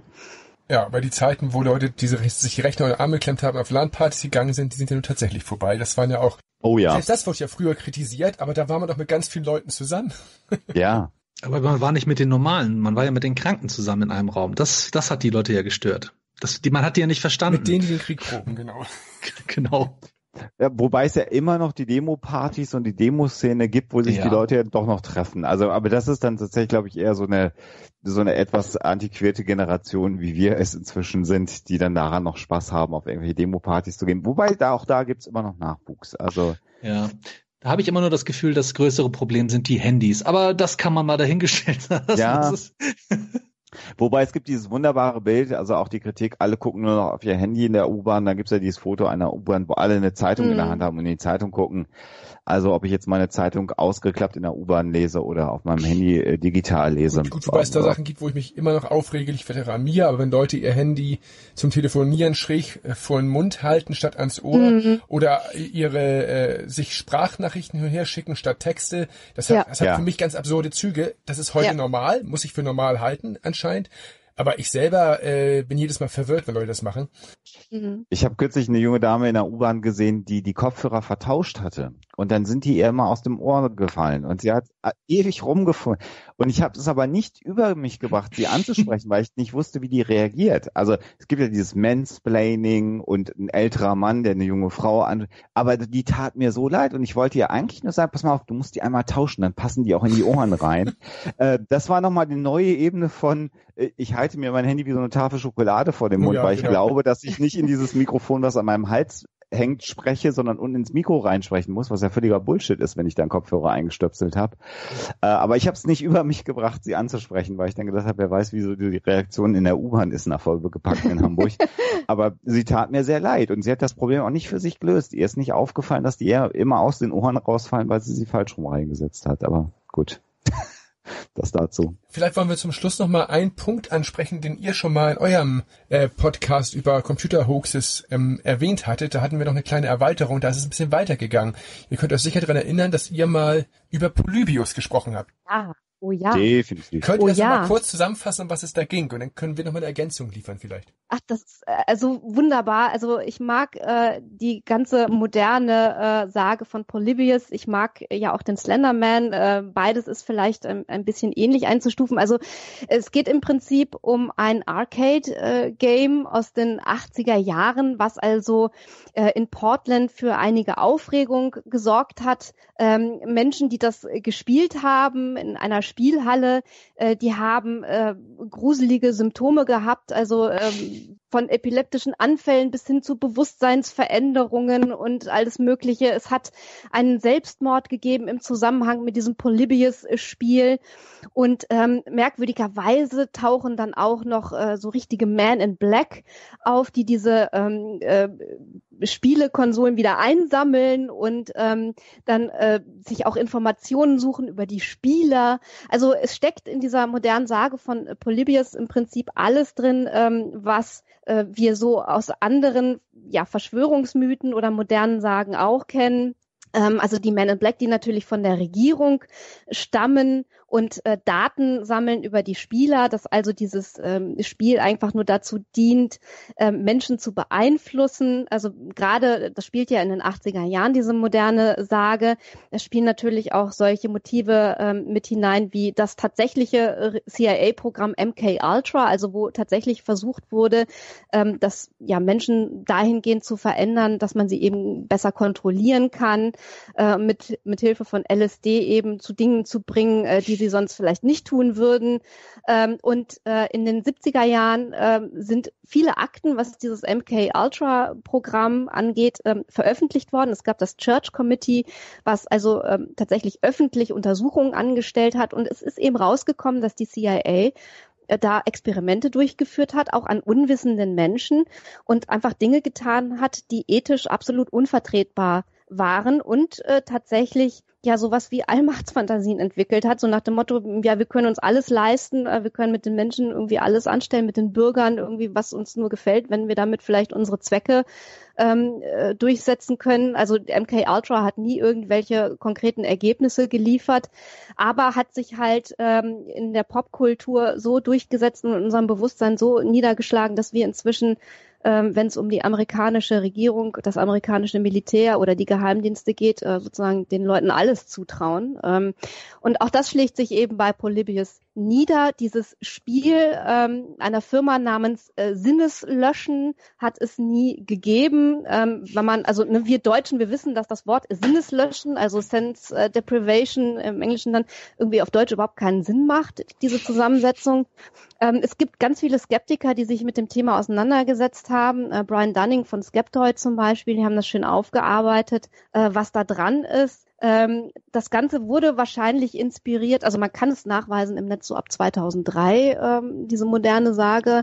Ähm, das Ganze ist inspiriert natürlich von den Arcade Games insgesamt und von auch vielen ähm, Überlegungen, über manche haben wir ja schon gesprochen, was so die Gefährlichkeit von solchen Spielen angeht. Ähm, also die, die Angst davor, dass solche Spiele Jugendliche negativ beeinflussen, äh, spielte als Motiv eine Rolle. Äh, dann hat es zu der Zeit, äh, zu der das angeblich spielen soll, dieses, diese ganze Geschichte, tatsächlich ein paar Vorfälle gegeben, wo ein wo Jugendliche zu lange und auch auf sehr unvernünftige Art und Weise Spiele gespielt haben. Also ein Jugendlicher wollte den Weltrekord brechen. wollte den Weltrekord brechen, hat dann irgendwie 28 Stunden lang äh, ein Spiel gezockt und äh, ja, nur Cola und Orangensaft getrunken gesund. und dem ging's scheiße Yeah. hinterher.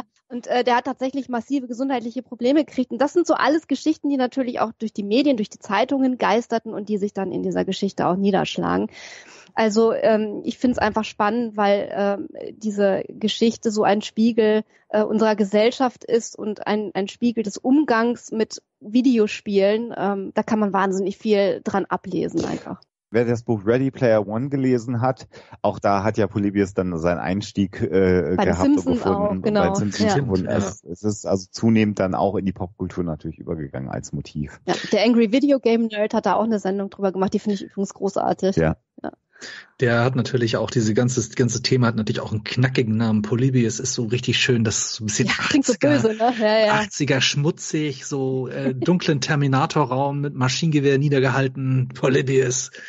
Ja. ja. Und ich habe damals, als ihr das im Podcast besprochen habt, auch selber ein bisschen recherchiert und fand das ganz mhm. spannend, weil äh, das passte ja auch immer in unseren Bereich und habe dann irgendwo gelesen, äh, dass ein Entwickler, der daran mitgearbeitet hat, und diesen Namen hatte ich mir damals ja, hatte ich gesehen, aber eigentlich gar nicht weiter verinnerlicht. Nämlich da stand immer drin, dass ein Ed Rothberg daran mitentwickelt ja. hat. Und dann dachte ich, irgendwo kenne ich den Namen, wieso kenne ich diesen Namen? Und dann guckte ich in meine Liste, oh, mit dem hast du nächste Woche ein Interview. Und das war wirklich reiner Zufall. Ich denke, dann kann man natürlich auch den Mann mal fragen, wie er denn so Polybius geschrieben hat, weil das stand da ja, ja überall. Und dann habe ich ihn tatsächlich äh, in unserer Folge 74 vom Retro Kompott war das, ähm, habe ich ihn gefragt, ähm, ob er das was sagen kann, weil sein Name da ja in Verbindung gesetzt wird mit dem Spiel und was er dazu sagen kann. Und er hat jetzt nicht irritiert geantwortet darauf, weil er hat das wahrscheinlich schon öfter gehört. Und er weiß ja. nicht, wie sein Name da reingekommen ist. Er wurde vom, da mehrfach nach gefragt und er findet das ganze, also das Konzept und die Geschichte in diesem Spiel, wie sagt er so schön, bemerkenswert und verwirrend. Und er, er, er bezieht sich auch nochmal auf diese Simpson-Episode, was ihr eben sagtet. Aber er weiß nur das, was er gelesen hat. Er weiß nicht, warum sein Name da auftaucht. Aber er sagt, es gibt ja auch viele Spiele von größeren Firmen, die nie veröffentlicht worden sind. Und er weiß auch nicht, ob es das Spiel wirklich gab. Er kann nicht Ja oder Nein sagen. Er mhm. hat es jedenfalls nicht entwickelt, wie da behauptet wird. Und das fand ich natürlich total spannend, dass ich wirklich zufällig mit dem Mann gesprochen habe, der da immer mit in Verbindung gebracht wird. Ja, ja. Ja, genial. Aber er ärgert sich dann nicht äh, unbedingt drüber, dass er damit in Zusammenhang gebracht wird.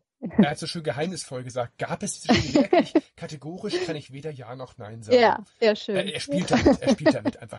Ja, ist ja auch eine ganz nette Werbung. Man ne? könnte auch jetzt wieder Mythos daraus machen und sagen, natürlich hat er das programmiert, aber er darf darüber nicht reden, oder? Ja, ja. Ja, ja klar. Genau. Wobei heute weiß man ja, wenn man auf Steam geht, dass man das Spiel für aktuell für den Stand heute, 31.8., wo wir das Interview aufnehmen, für 14,99 äh, bei Steam kaufen kann und spielen kann. Und ich sehe hier gerade eine Preview, mir geht's auch schon ganz schlecht. Ich genau. fühle mich schon ganz komisch. Äh, da muss man sagen, da hat eine andere bekannte Person der Szene ja auch diesen Namen sich dann genommen, nämlich der Jeff Minter, und hat daraus ein VR PlayStation-Spiel gemacht. Aha. Das meine ich hier, das gibt genau. es auch bei Steam und, inzwischen. Äh, der genau. natürlich auch, ist einfach aufgesprungen auf diesen Zug natürlich und jetzt gibt ja. es Polybius. Worüber reden ja. wir eigentlich? Das Spiel gibt es doch. Ja, genau. genau. Und das ist ein genau. Spiel und wenn man das länger in VR spielt, fühlt man sich auch komisch. Ich habe selber gespielt. Ja, das kann ich mir gut vorstellen. Ähm, das ist eines der schnellsten Vektor-VR-Spiele, die ich je gesehen habe.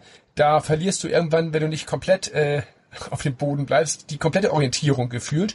Und wenn es ein Polybius gegeben hätte, das wäre es gewesen. Also eigentlich hat er das nur adaptiert von dem, was es gar nicht gab. Also ein besseres Polybius als dieses äh, kann es eigentlich nicht geben. Ich kann mir gut vorstellen, dass Leute, die das so oft spielen, ganz merkwürdige Nebenwirkungen haben.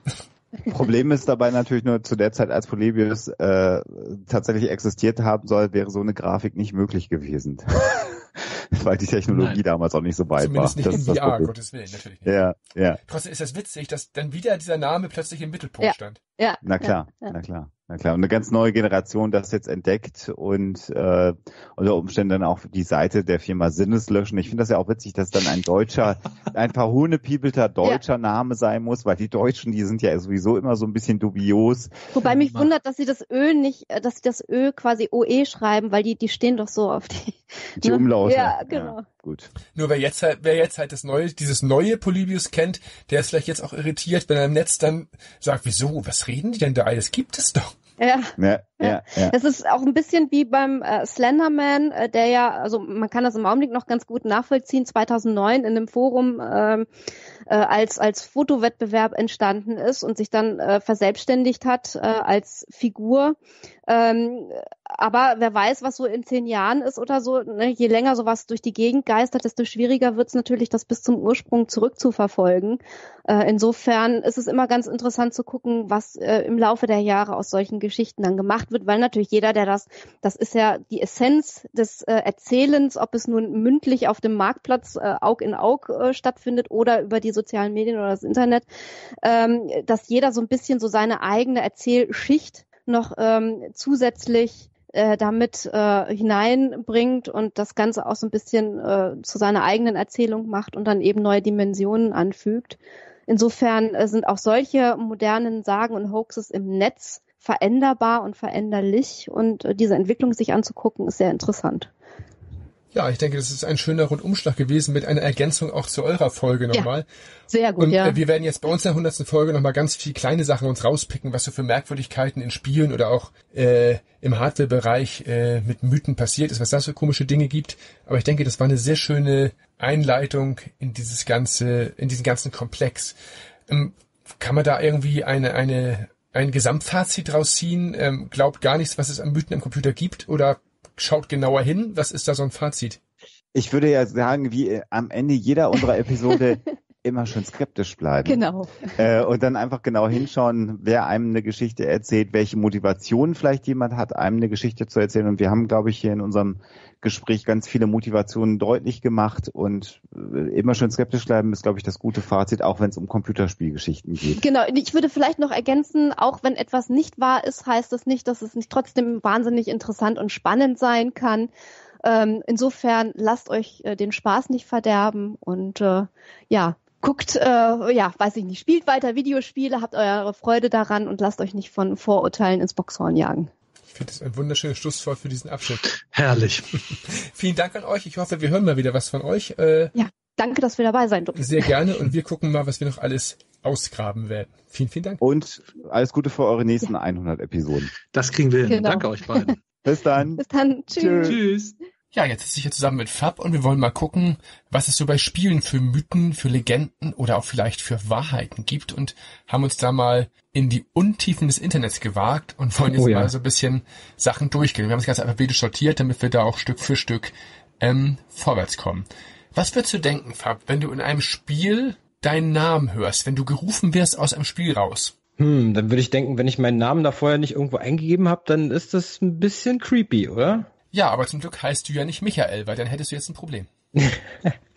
genau, erklär doch mal, worum geht's? Ja, das Spiel Black and White. Äh, würdest du Michael heißen, vor diesem Spiel sitzen und um 20 Uhr dieses Spiel spielen, dann hörst du deinen Namen. und ich stelle mir gerade die Situation vor, du sitzt vor deinem Computer und das Spiel ruft dich.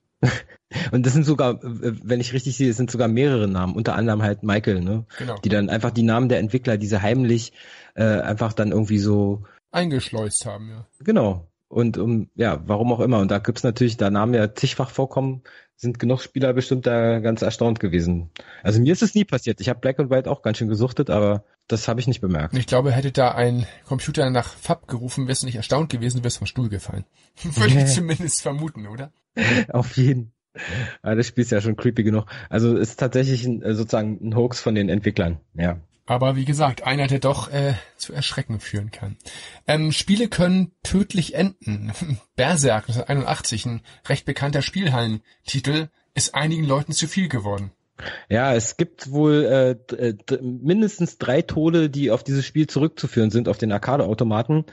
Und zwar ähm, ein gewisser Jeff Daly ähm, irgendwie hat eine Herzattacke gekriegt beim Spielen oder als er irgendwie auf einer äh, auf einer Scoreboard-Liste seinen Namen zweimal gesehen hat irgendwie und ist er dann irgendwie an einer Herzattacke gestorben. Ob das irgendwas mit dem Spiel direkt zu tun hat, weiß man nicht. Herzattacken können ja einfach auch so vorkommen. Aber natürlich bilden sich dann gleich so eine Mythen. Ne? Ein gewisser Peter Burkowski war ein weiteres Opfer und ähm, der ist ganz an die Spitze der, der Highscores gelangt und dann hat er auch einen Herzinfarkt gekriegt. Also was lernen wir daraus? Bei Berserk, Berserk niemals zu gut spielen. Ja, ja, genau. Und dann gab es äh, noch einen Tod, der ist ein bisschen obskurer. Da haben sich wohl ähm, zwei Leute äh, gestritten um eine Münze zum Einwerfen und dann hat der eine den anderen abgestochen, ne, um dann halt das Spiel Berserk zu spielen. Also Hätte auch vor jedem Pac-Man-Automaten passieren können, oder? ja, auch, ja. Witzig ist, dass ich den Automaten überhaupt nicht kenne, aber ich kenne eine japanische Anime-Serie namens Berserk, die auch sehr gruselig ist. Ja, dann äh, gibt's ein Spiel, äh, wo man eventuell äh, von einem Axtmörder erledigt werden kann. ja. Kennst du denn das Spiel Days mit einem großen Z am Ende? Ehrlich gesagt, nein. Das ist so ein ähm, Open World ähm, Zombie-Spiel, ne? wo man halt auf der auf der Suche ist nach äh, allen möglichen äh, Sachen, halt blutet und versucht zu überleben und die Zombies einen attackieren.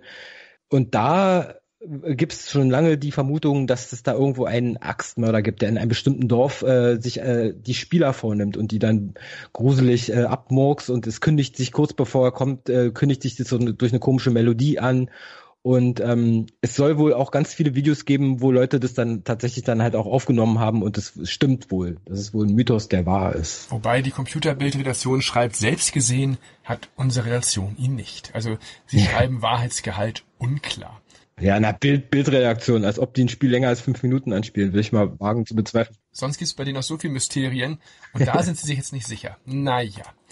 Äh, ja, dann, dann gibt es manchmal Mythen, aus denen wird eine Wahrheit. Ähm, es gab lange das Gerücht, äh, dass es bei Diablo ein Q-Level gab, in dem man ja eine Gruppe Kühe in einer bestimmten Reihenfolge anklickt und dann zu einem versteckten Bereich gelangt. Das war aber ein Mythos, oder?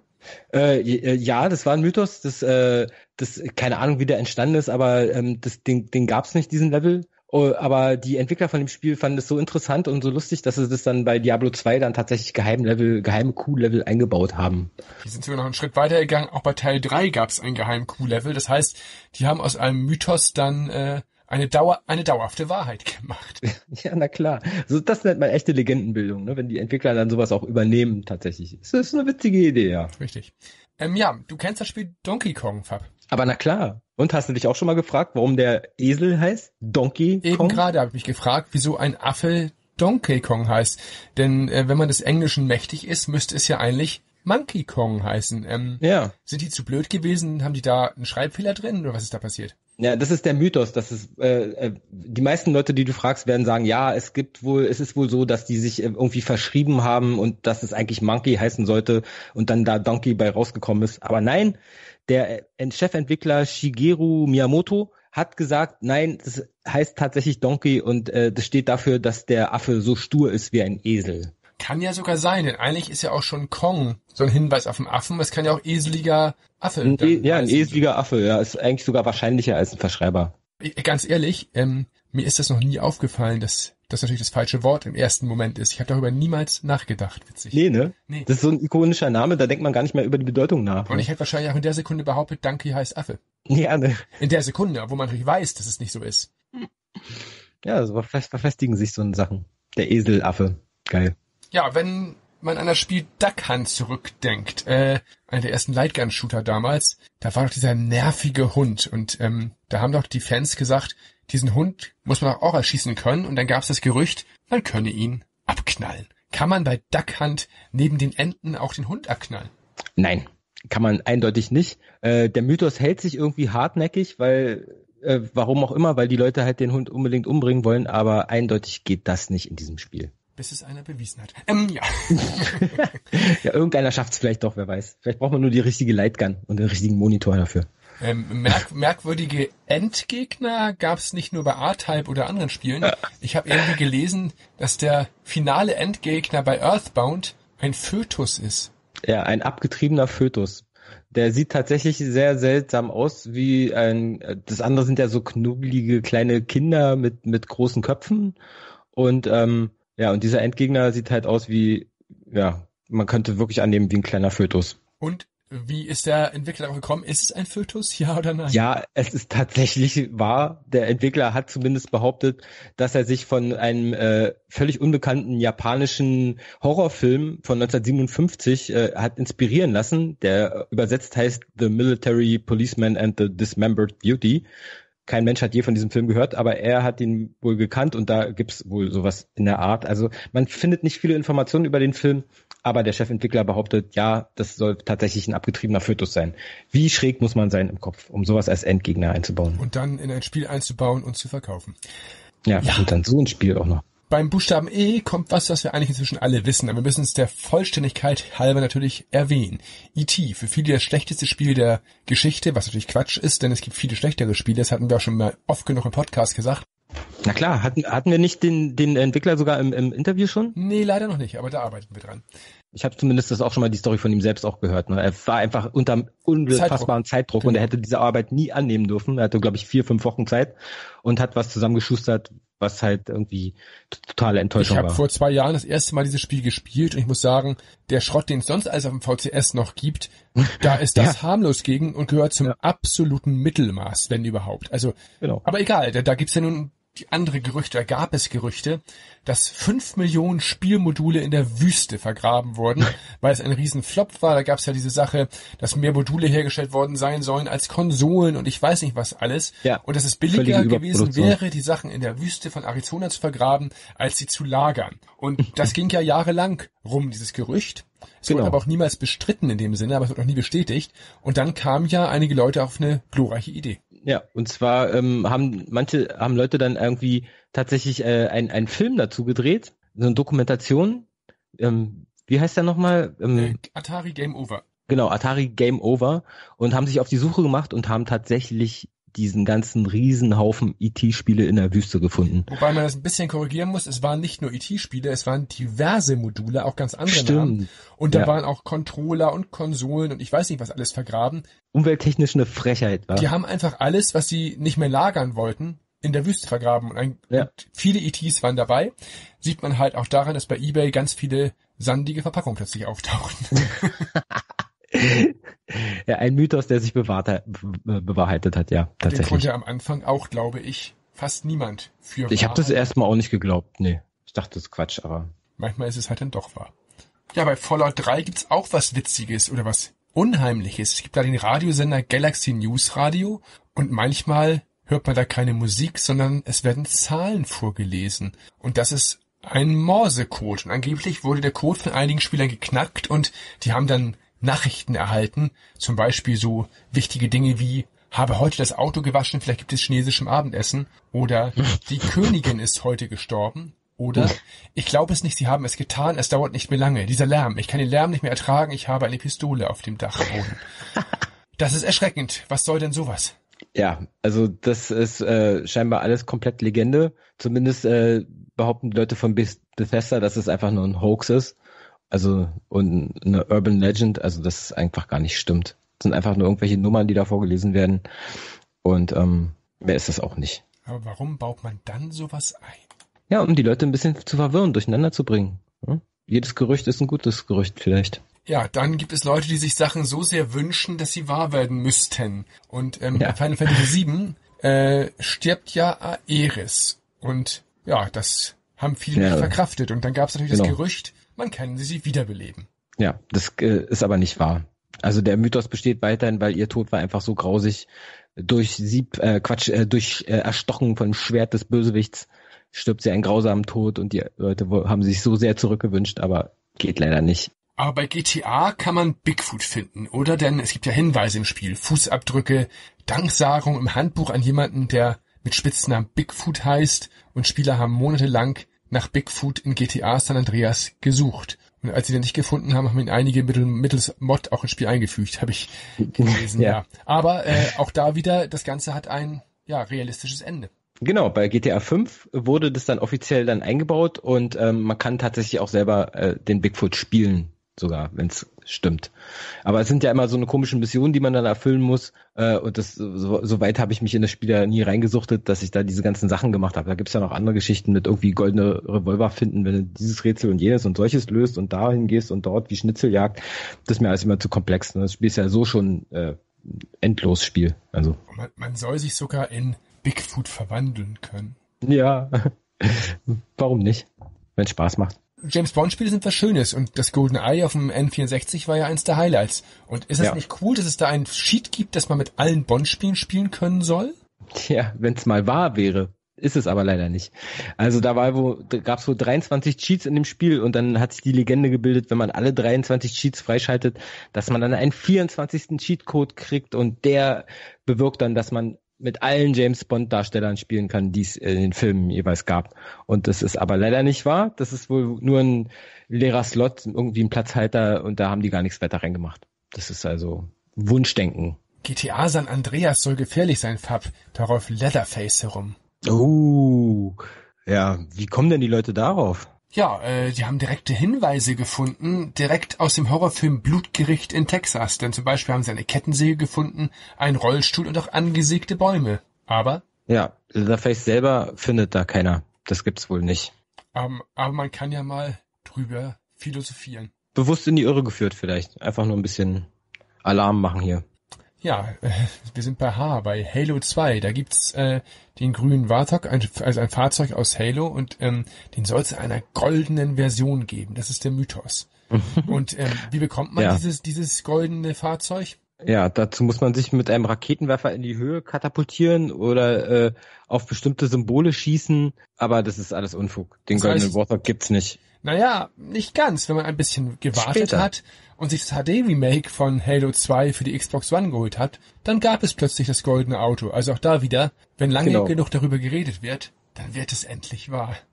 Zumindest in Computerspielen. Ja, super.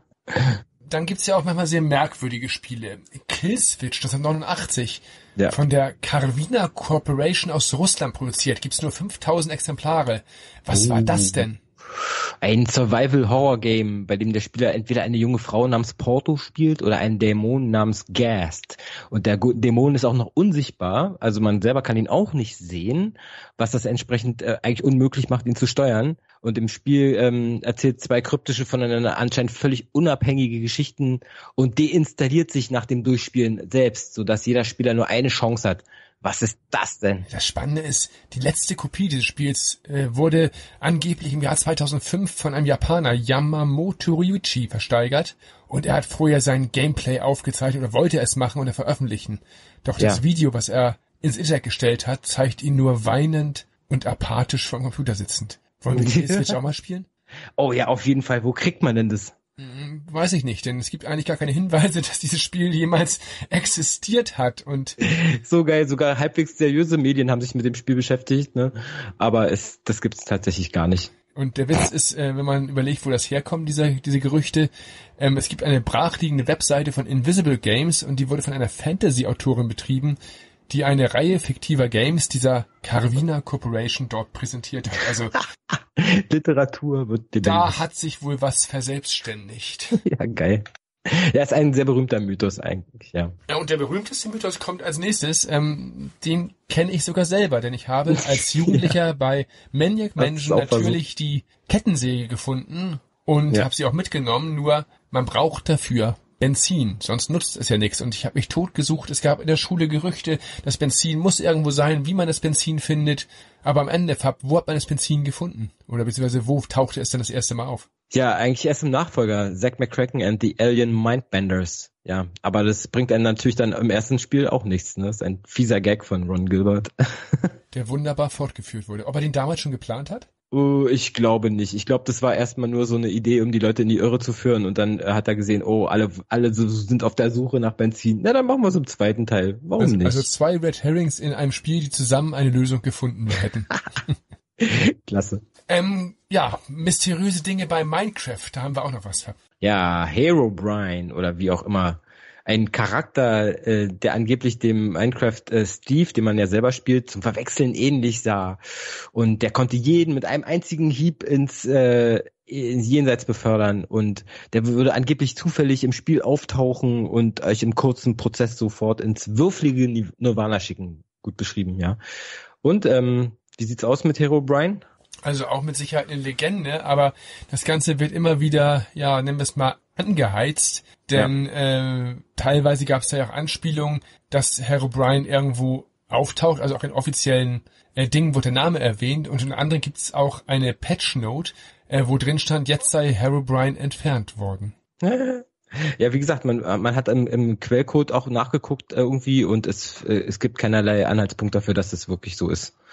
Außer eben äh, in irgendeiner gemoddeten Version. Ne, wo man in, in Mods kannst ja bei Minecraft auch fast alles machen. Ja, heutzutage kennen viele Ermac als mächtigen Gegner von Mortal Kombat und da gibt es ja auch die Gerüchte, dass es Ermac im ersten Mortal Kombat Spiel gibt. Tja, ich würde mal sagen, das stimmt aber nicht. Denn äh, Airmax ist kein Charakter im ersten Spiel, sondern ist bloß ein, äh, ein eine Fehler, wie soll man sagen, ein Fehlercode vom Automaten, der eigentlich ausgeschrieben Error Mac Cross ist. Ne? Und deswegen kann man manchmal Ermax auf dem Bildschirm lesen. Alle dachten dann, Das wäre ein geheimer Charakter. er muss dieser Gegner auch in dem Spiel sein. Schöner Zufall. Süß. Ja, aber man kann doch sicherlich bei Mortal Kombat gegen den Geheimboss Reptile kämpfen, oder? Na, das geht aber tatsächlich, ja. Und zwar, wie war das? In, in der vierten Runde muss man den Gegner zweimal hintereinander ohne Gegenschlag besiegen und anschließend noch einen Fatality-Move. Und dann hast du tatsächlich äh, Reptile als Bossgegner. Da gibt's mit Sicherheit auch genug Videos zu. Ja, ja, also das, der ist so ein bisschen größer und so und der, der macht einen auch eklig platt, genau. ja, dann gibt's ein sehr gruseliges Gerücht bei Pokémon rote oder blaue Edition, das sogenannte Lavender Town Syndrom. Hm. Was ist das denn bitte? Lavender oder im Deutschen Lavandia irgendwie. Äh, ach so, ja, äh, da da da ist man dann, wie war das nochmal, in diese Stadt Lavandia gekommen oder Lavender im Original und ähm, da gab es eine seltsame Hintergrundmusik und in der japanischen Version sind die Töne so komisch, so schräg, äh, dass Kinder von zwischen sieben und zwölf Jahren äh, das eigentlich nur hören können, angeblich. Ne? So ganz hohe Töne scheinbar, ne? die Erwachsene dann nicht mehr hören. Und die, diese Töne führen aber leider bei Kindern dann zu Kopfschmerzen manchmal oder seltsamen Verhalten, wo angeblich bis hin zum Selbstmord. Ist natürlich nie bewiesen worden, aber Nein. es gab Gerüchte, dass 200 Leute oder 200 Kinder wegen dieser Musik Selbstmord begangen haben. Alles natürlich ein Hoax, aber das Irritierende ist, dann gab es die westliche Version dieses Spiels. Was hat Nintendo gemacht, Fab? Sie haben die Musik geändert, denn die haben wahrscheinlich die Hosen gestrichen voll gehabt, dass sie deswegen bis auf den Mond verklagt werden. Ne? Also wenn da irgendeine Verbindung irgendwie bewiesen werden würde. Also sind sie auf Nummer sicher gegangen trotzdem irgendwie eine gruselige Geschichte. ja, ey, äh, das ist eher eine tragische Geschichte, würde ich fast sagen. Wenn die das sozusagen äh, machen und irgendwie sich gar nichts dabei denken, vielleicht großartig, und dann kommt da sowas bei raus. Ne? Das, und wenn es nur das Gerücht ist, ist ja schlimm genug. Ja, ich würde mir vorstellen, als Entwickler, ich würde, da wirst du ja nie sicher sein, oh, bin ich jetzt schuld daran, dass Kinder gestorben sind? Krass. Oder ist es doch nur ein Hoax? Eben, ja. Hm. Belastend. Nicht so gut. Gut, egal. Bei Pokémon kann man ja auch sehr seltene Pokémons finden und Mew ist wohl einer von denen. Und da muss man anscheinend ja komische Dinge machen, um ihn zu finden. Äh, ja, sehr komische Sachen. Ähm, äh, ja, was war das? Der war irgendwie versteckt unter einem Truck oder so und man musste, was, äh, hast du die Seite besser noch durchgelesen als ich? Äh, was musste man dann noch tun, um den zu finden? Da haben Leute wirklich wohl versucht, äh, stundenlang äh, diesen Truck wegzubewegen, um diesen Pokémon zu fangen. Und in Wirklichkeit haben sie alle nur ihre Zeit verschwendet. Ja, na klar. Aber ey, ich, äh, selbst schuld, wenn man stundenlang versucht, irgendwas zu äh, bewegen, was eindeutig sich nicht bewegen lässt. Also, da, also klar, obwohl ich habe auch schon in Spielen manchmal Sachen versucht, die sich im Nachhinein natürlich als unmöglich erwiesen haben, einfach weil ich der Meinung war, so und so müsste das doch gehen. Ja, du bist entschuldigt, du kommst aus Berlin. Ja. Äh, ja, wir sind bei P, ähm, und das hatten wir schon mal im Podcast, auch mit P, sehr schön. Ähm, Police Quest gab es für den C460, denn es gab ja einen Artikel in der ASM mit einem Testbericht, also muss es dieses Spiel ja auch gegeben haben und natürlich muss es auch promiert worden sein, oder? Da, darüber hattest du schon mal was erzählt, ne? Kann es sein? Genau. Das ist nämlich, stimmt nämlich nicht. Nee, und es gibt nicht mal einen Screenshot oder irgendwas. Ähm, da hat sich irgendein Redakteur einfach einen Text aus den Fingern gesaugt über eine gute C40-Umsetzung geschrieben, die er definitiv nicht gesehen haben kann. Also ja. Komplett irre. Vielleicht hat er einen Anruf gekriegt oder er hat sich einfach gedacht, so und so müsste das wahrscheinlich sein. Ich schreibe schon mal vor, habe später mehr Zeit. Wir bringen das Spiel nächste Woche raus, schreibt doch schon mal was. genau, so ist in der Art. Ja, ähm, wir hatten vorhin äh, in dem ersten Teil schon über Polybius gesprochen, gehen wir also jetzt nicht nochmal drauf ein, erwähnen es nur nochmal, weil wir jetzt ja hier alphabetisch durchgehen. Das war ja der genau. Automat, der Leute in den Wahnsinn getrieben hat. das konnten wir ja klären. Und wer, wie gesagt, heute Polybius spielen will, kann es ja dank Jeff Minter auch tun. Ja. Ja, dann gab es ja den Pong-Automaten, einen der ersten Spielautomaten, in denen, ja, der in Kneipen aufgestellt wurde. Und die Geschichte kennt jeder, wa? Wahrscheinlich. Wahrscheinlich ja. Und man weiß auch nicht ganz genau, ob sie stimmt, aber sie scheint zu stimmen. Ähm, die Automaten waren alle sehr schnell kaputt und die. Techniker haben dann den, nennen wir es jetzt mal in Anführungszeichen Defekt, auch immer recht schnell gefunden, oder? Auf jeden. Die haben aufgemacht und haben festgestellt, äh, der Münzbehälter war einfach knackevoll und man konnte keine weiteren Münzen mehr richtig reinstecken oder so. Und deswegen ging der Automat nicht mehr. Es war ein überraschender Mega-Erfolg, dieses Spiel. Ne? Also diese.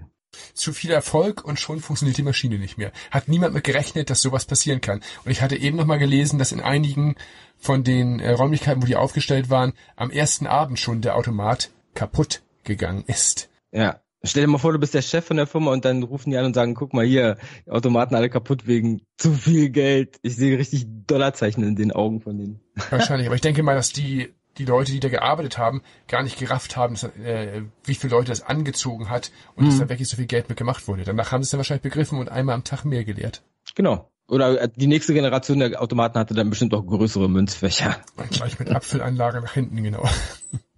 Ja, und dann gab es auch damals das Gerücht, ähm, oder das ist ja nicht Gerücht, das war eine Tatsache, zumindest in Japan, äh, waren teilweise die Münzen für die Automaten, das sind ja als Beispiel in Amerika die Quartermünzen gewesen, ähm, dass solche Münzen plötzlich äh, seltener oder knapp wurden, weil die alle in den Automaten drin lagen. Klar, kann passieren. Absolut. Ja, wenn Saddam Hussein PlayStation 2 spielen will, dann verkabelt er 4000 Stück. Was habe ich denn da gelesen? Ja, ah ja, angeblich hat, äh, hat Saddam Hussein äh, irgendwie 4000 PlayStation 2 Konsolen gekauft, also importiert und nicht um mit seiner Großfamilie von 4000 Leuten zu spielen, sondern er soll wohl angeblich alle Systeme gekoppelt haben ähm, und äh, um damit ein Raketenleitsystem zu betreiben. Aber das stimmt wohl nicht. Das ist zu unwahrscheinlich. Erstens ist es viel zu komplex, 4000 äh, äh, so eine Konsolen irgendwie miteinander zu vernetzen und die Software hätte da schon Jahre im Voraus beginnen müssen, die zu schreiben und er hat auch gar keine Leute dafür. Also das und ist Sony wird ihm die Inside-Information auch nicht vorher gegeben haben. Also kompletter Blödsinn. Ja. Was haben wir als nächstes? Ähm, ja, wieder mal eine Figur. Gibt's sie oder gibt's sie nicht? Den Werwolf in Red Dead Redemption. Tja, schön wär's, ne? Ähm, es gibt nur einen verschwommenen Screenshot, wo irgendwie im dunklen Wald jemand zu sehen ist, der wie ein Werwolf aussehen könnte, aber den gibt's nicht. Das heißt, der Screenshot ist ein Fake. Ja, entweder ein Fake oder irgendwas aus dem Spiel sieht halt zufällig ein bisschen so aus. Das ist nur ein Schatten. Ja, aber das Horrorspiel Sad Satan, das im Jahr 2015 im Darknet auftauchte, das gab's anscheinend ja tatsächlich. Das gibt's auch immer noch. Aber was soll dieses Spiel? Ja, keine Ahnung. Man ist nur in so einem schwarzen und weißen Labyrinth um, und muss da halt durchgehen und dann gibt's immer ganz viele Unschärfe und Filmkörnungsfilter und dann bedrückende Musik und Stimmung und dann wird dann äh, geht's richtig ab. Da wird äh, Satanismus, Kindesmissbrauch und Morde werden irgendwie thematisiert im Spiel. Also Näheres weiß ich leider auch darüber nicht. Ich habe ja keinen Zugriff zum Darknet, äh, ohne Witz. Und äh, deswegen, ähm, ja, aber man weiß halt auch nicht, von wem das Spiel ist komische Geschichte. Und man was weiß auch nicht, was das Spiel soll, aber geben tut es es auf jeden Fall. Na klar, ich meine, kann man sich doch vorstellen, irgendjemand will halt irgendeine Message und das Volk bringen und dann warum nicht in der Form? Ist ihm egal, ob er damit Geld verdient oder weiß jemand, von wem es ist. Hauptsache, dieses Spiel ist in der Welt. Kann mir das schon vorstellen. Und wenn Spieler böse sind, sich nicht benehmen können, dann kommen sie ins Kornfeld, zumindest bei Second Life. Was ist denn das schon wieder für eine Geschichte? Das was allererstaunlichste finde ich ja überhaupt, dass es Second Life noch gibt, aber davon mal abgesehen, ähm, ist halt äh, tatsächlich, äh, wenn man sich da ungebührlich benimmt, wird man halt auf in Kornfeld versetzt. Und da gibt's zwei Fernseher irgendwie und äh, da gibt's halt ganz viel Korn und äh, also Mais und irgendwie ein Tracker und mehr ist da nicht und da kannst du dann halt nichts machen, außer Glotze gucken. Wird immer wieder rausgeholt? Ich meine, du warst sicher schon da drin, oder? Nee, ich war da noch nicht drin. Ich habe Second Dive mal, äh, als es rauskam, in der Zeit auch mir mal kurze Zeit angeguckt und fand es ganz interessant, äh, aber da ging es halt mehr um, man kann Häuser bauen und, und irgendwie dieses äh, komische Geld da drin, dass man das gegen echtes Geld umtauschen kann. Also man kann theoretisch Geld damit verdienen. Sind wohl auch ein paar Leute sehr reich geworden mit Second Life. Ganz wenige. Aber äh, ich finde es eher erstaunlich, dass es immer noch gibt. Und einige sitzen bis heute im Kornfeld. Ja, wahrscheinlich, ja. Keine Ahnung, ob die da wieder rauskommen. Ja, ähm, bei einer Sonic-CD kann man teuflische Botschaften hören, indem man einfach die, diese CD von 1993 einlegt, eine Tastenkombination macht, damit ein Soundtest startet. Runter, runter, runter, links, rechts, A soll die Kombination sein. Und dann kann man die Einstellung machen, Song FM46, PCM12, DA25 und dann passiert etwas. Es ja. kommt ein bizarres Gesicht, eine schaurige Musik und ein japanischer Text. Da, der sagt, übersetzt, Spaß ist unendlich. Sega Enterprise, gezeichnet der Teufel. Und da denkt man sich, huch, hallo, Kinderspiel, was ist da gerade los mit euch? Was habt ihr genommen? Keine Ahnung, was das soll, aber es gibt's. Ja, und Sega selbst hat das da eingebaut. Also das ist weder ein Hoax noch ein Fake. Das kann jeder, der eine Sonic-CD fürs Mega-CD hat, einfach mal selber ausprobieren. Genau. Und ich würde mich mal fragen, was die dazu sagen. Die muss dann mal irgendjemand da mal zu befragt haben, was die Haltung der Firma dazu ist, aber. Wahrscheinlich ein interner Werbegag, den niemals jemand sehen sollte. wahrscheinlich sowas. Aber dafür kann man ja bei Street Fighter 2 mit Shenlong spielen, denn auf dem Automaten von Street Fighter 2, in der Arcade-Version von Street Fighter 2, stand ja die Nachricht, you must defeat Shenlong to stand a chance. Ja. Das hat auch eine Zeitung dann bestätigt, weil natürlich ist dann ja klar, dass das geht. Ja, die berühmte EGM, ne?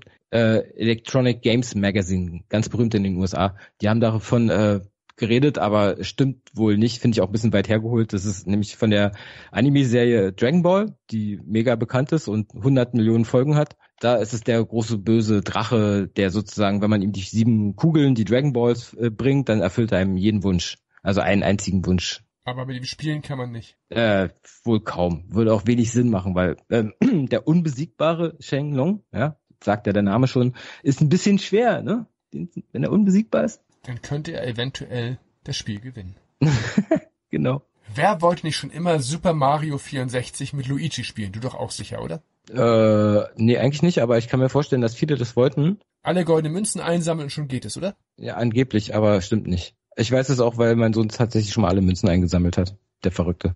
Und er war dann nicht, danach nicht Luigi. Nein. Aber danach hat sich wieder mal bestätigt, äh, in der Nintendo DS Neuauflage des Spiels, da kann man es dann machen. Aber was man auch sicher machen kann, ähm, Sonic hat doch mitgemacht bei Super Smash Bros. Melee oder sollte dort mitmachen oder doch nicht oder wie war das? Ja, das ist auch was, was sich viele gewünscht haben und später gab es ja auch Zusammenarbeiten zwischen Sonic und Mario, aber da noch nicht. Das war ein Aprilscherz aus wieder aus der berühmten EGM-Zeitung und ähm, ja, geht halt nicht. Pech gehabt. Aber was doch geht, ist bei Super Mario Bros. über die Flagge rüber zu springen. Ah, es geht aber nur an einer einzigen Stelle im Spiel, und zwar in Welt 3.3. Äh, da kann man es machen, irgendwie durch einen, irgendeinen Programmierfehler, aber es hat keine Auswirkungen. Passiert nichts weiter. Und sonst geht's wirklich nicht? Äh, sonst geht's nicht. Also viele haben es probiert. Ich habe es auch, glaube ich, mal probiert, aber man kommt nicht drüber eigentlich. Wozu auch? Was wir wissen haben, noch ein Leben dazu? Gibt es da noch mehr als ein Leben? Das ist doch schon der Höchstpreis. Das stimmt. Diese gierigen Spieler. Ja, dann gibt's manchmal Geschichten, wie steht hier so schön, die sind besser als von Stephen King.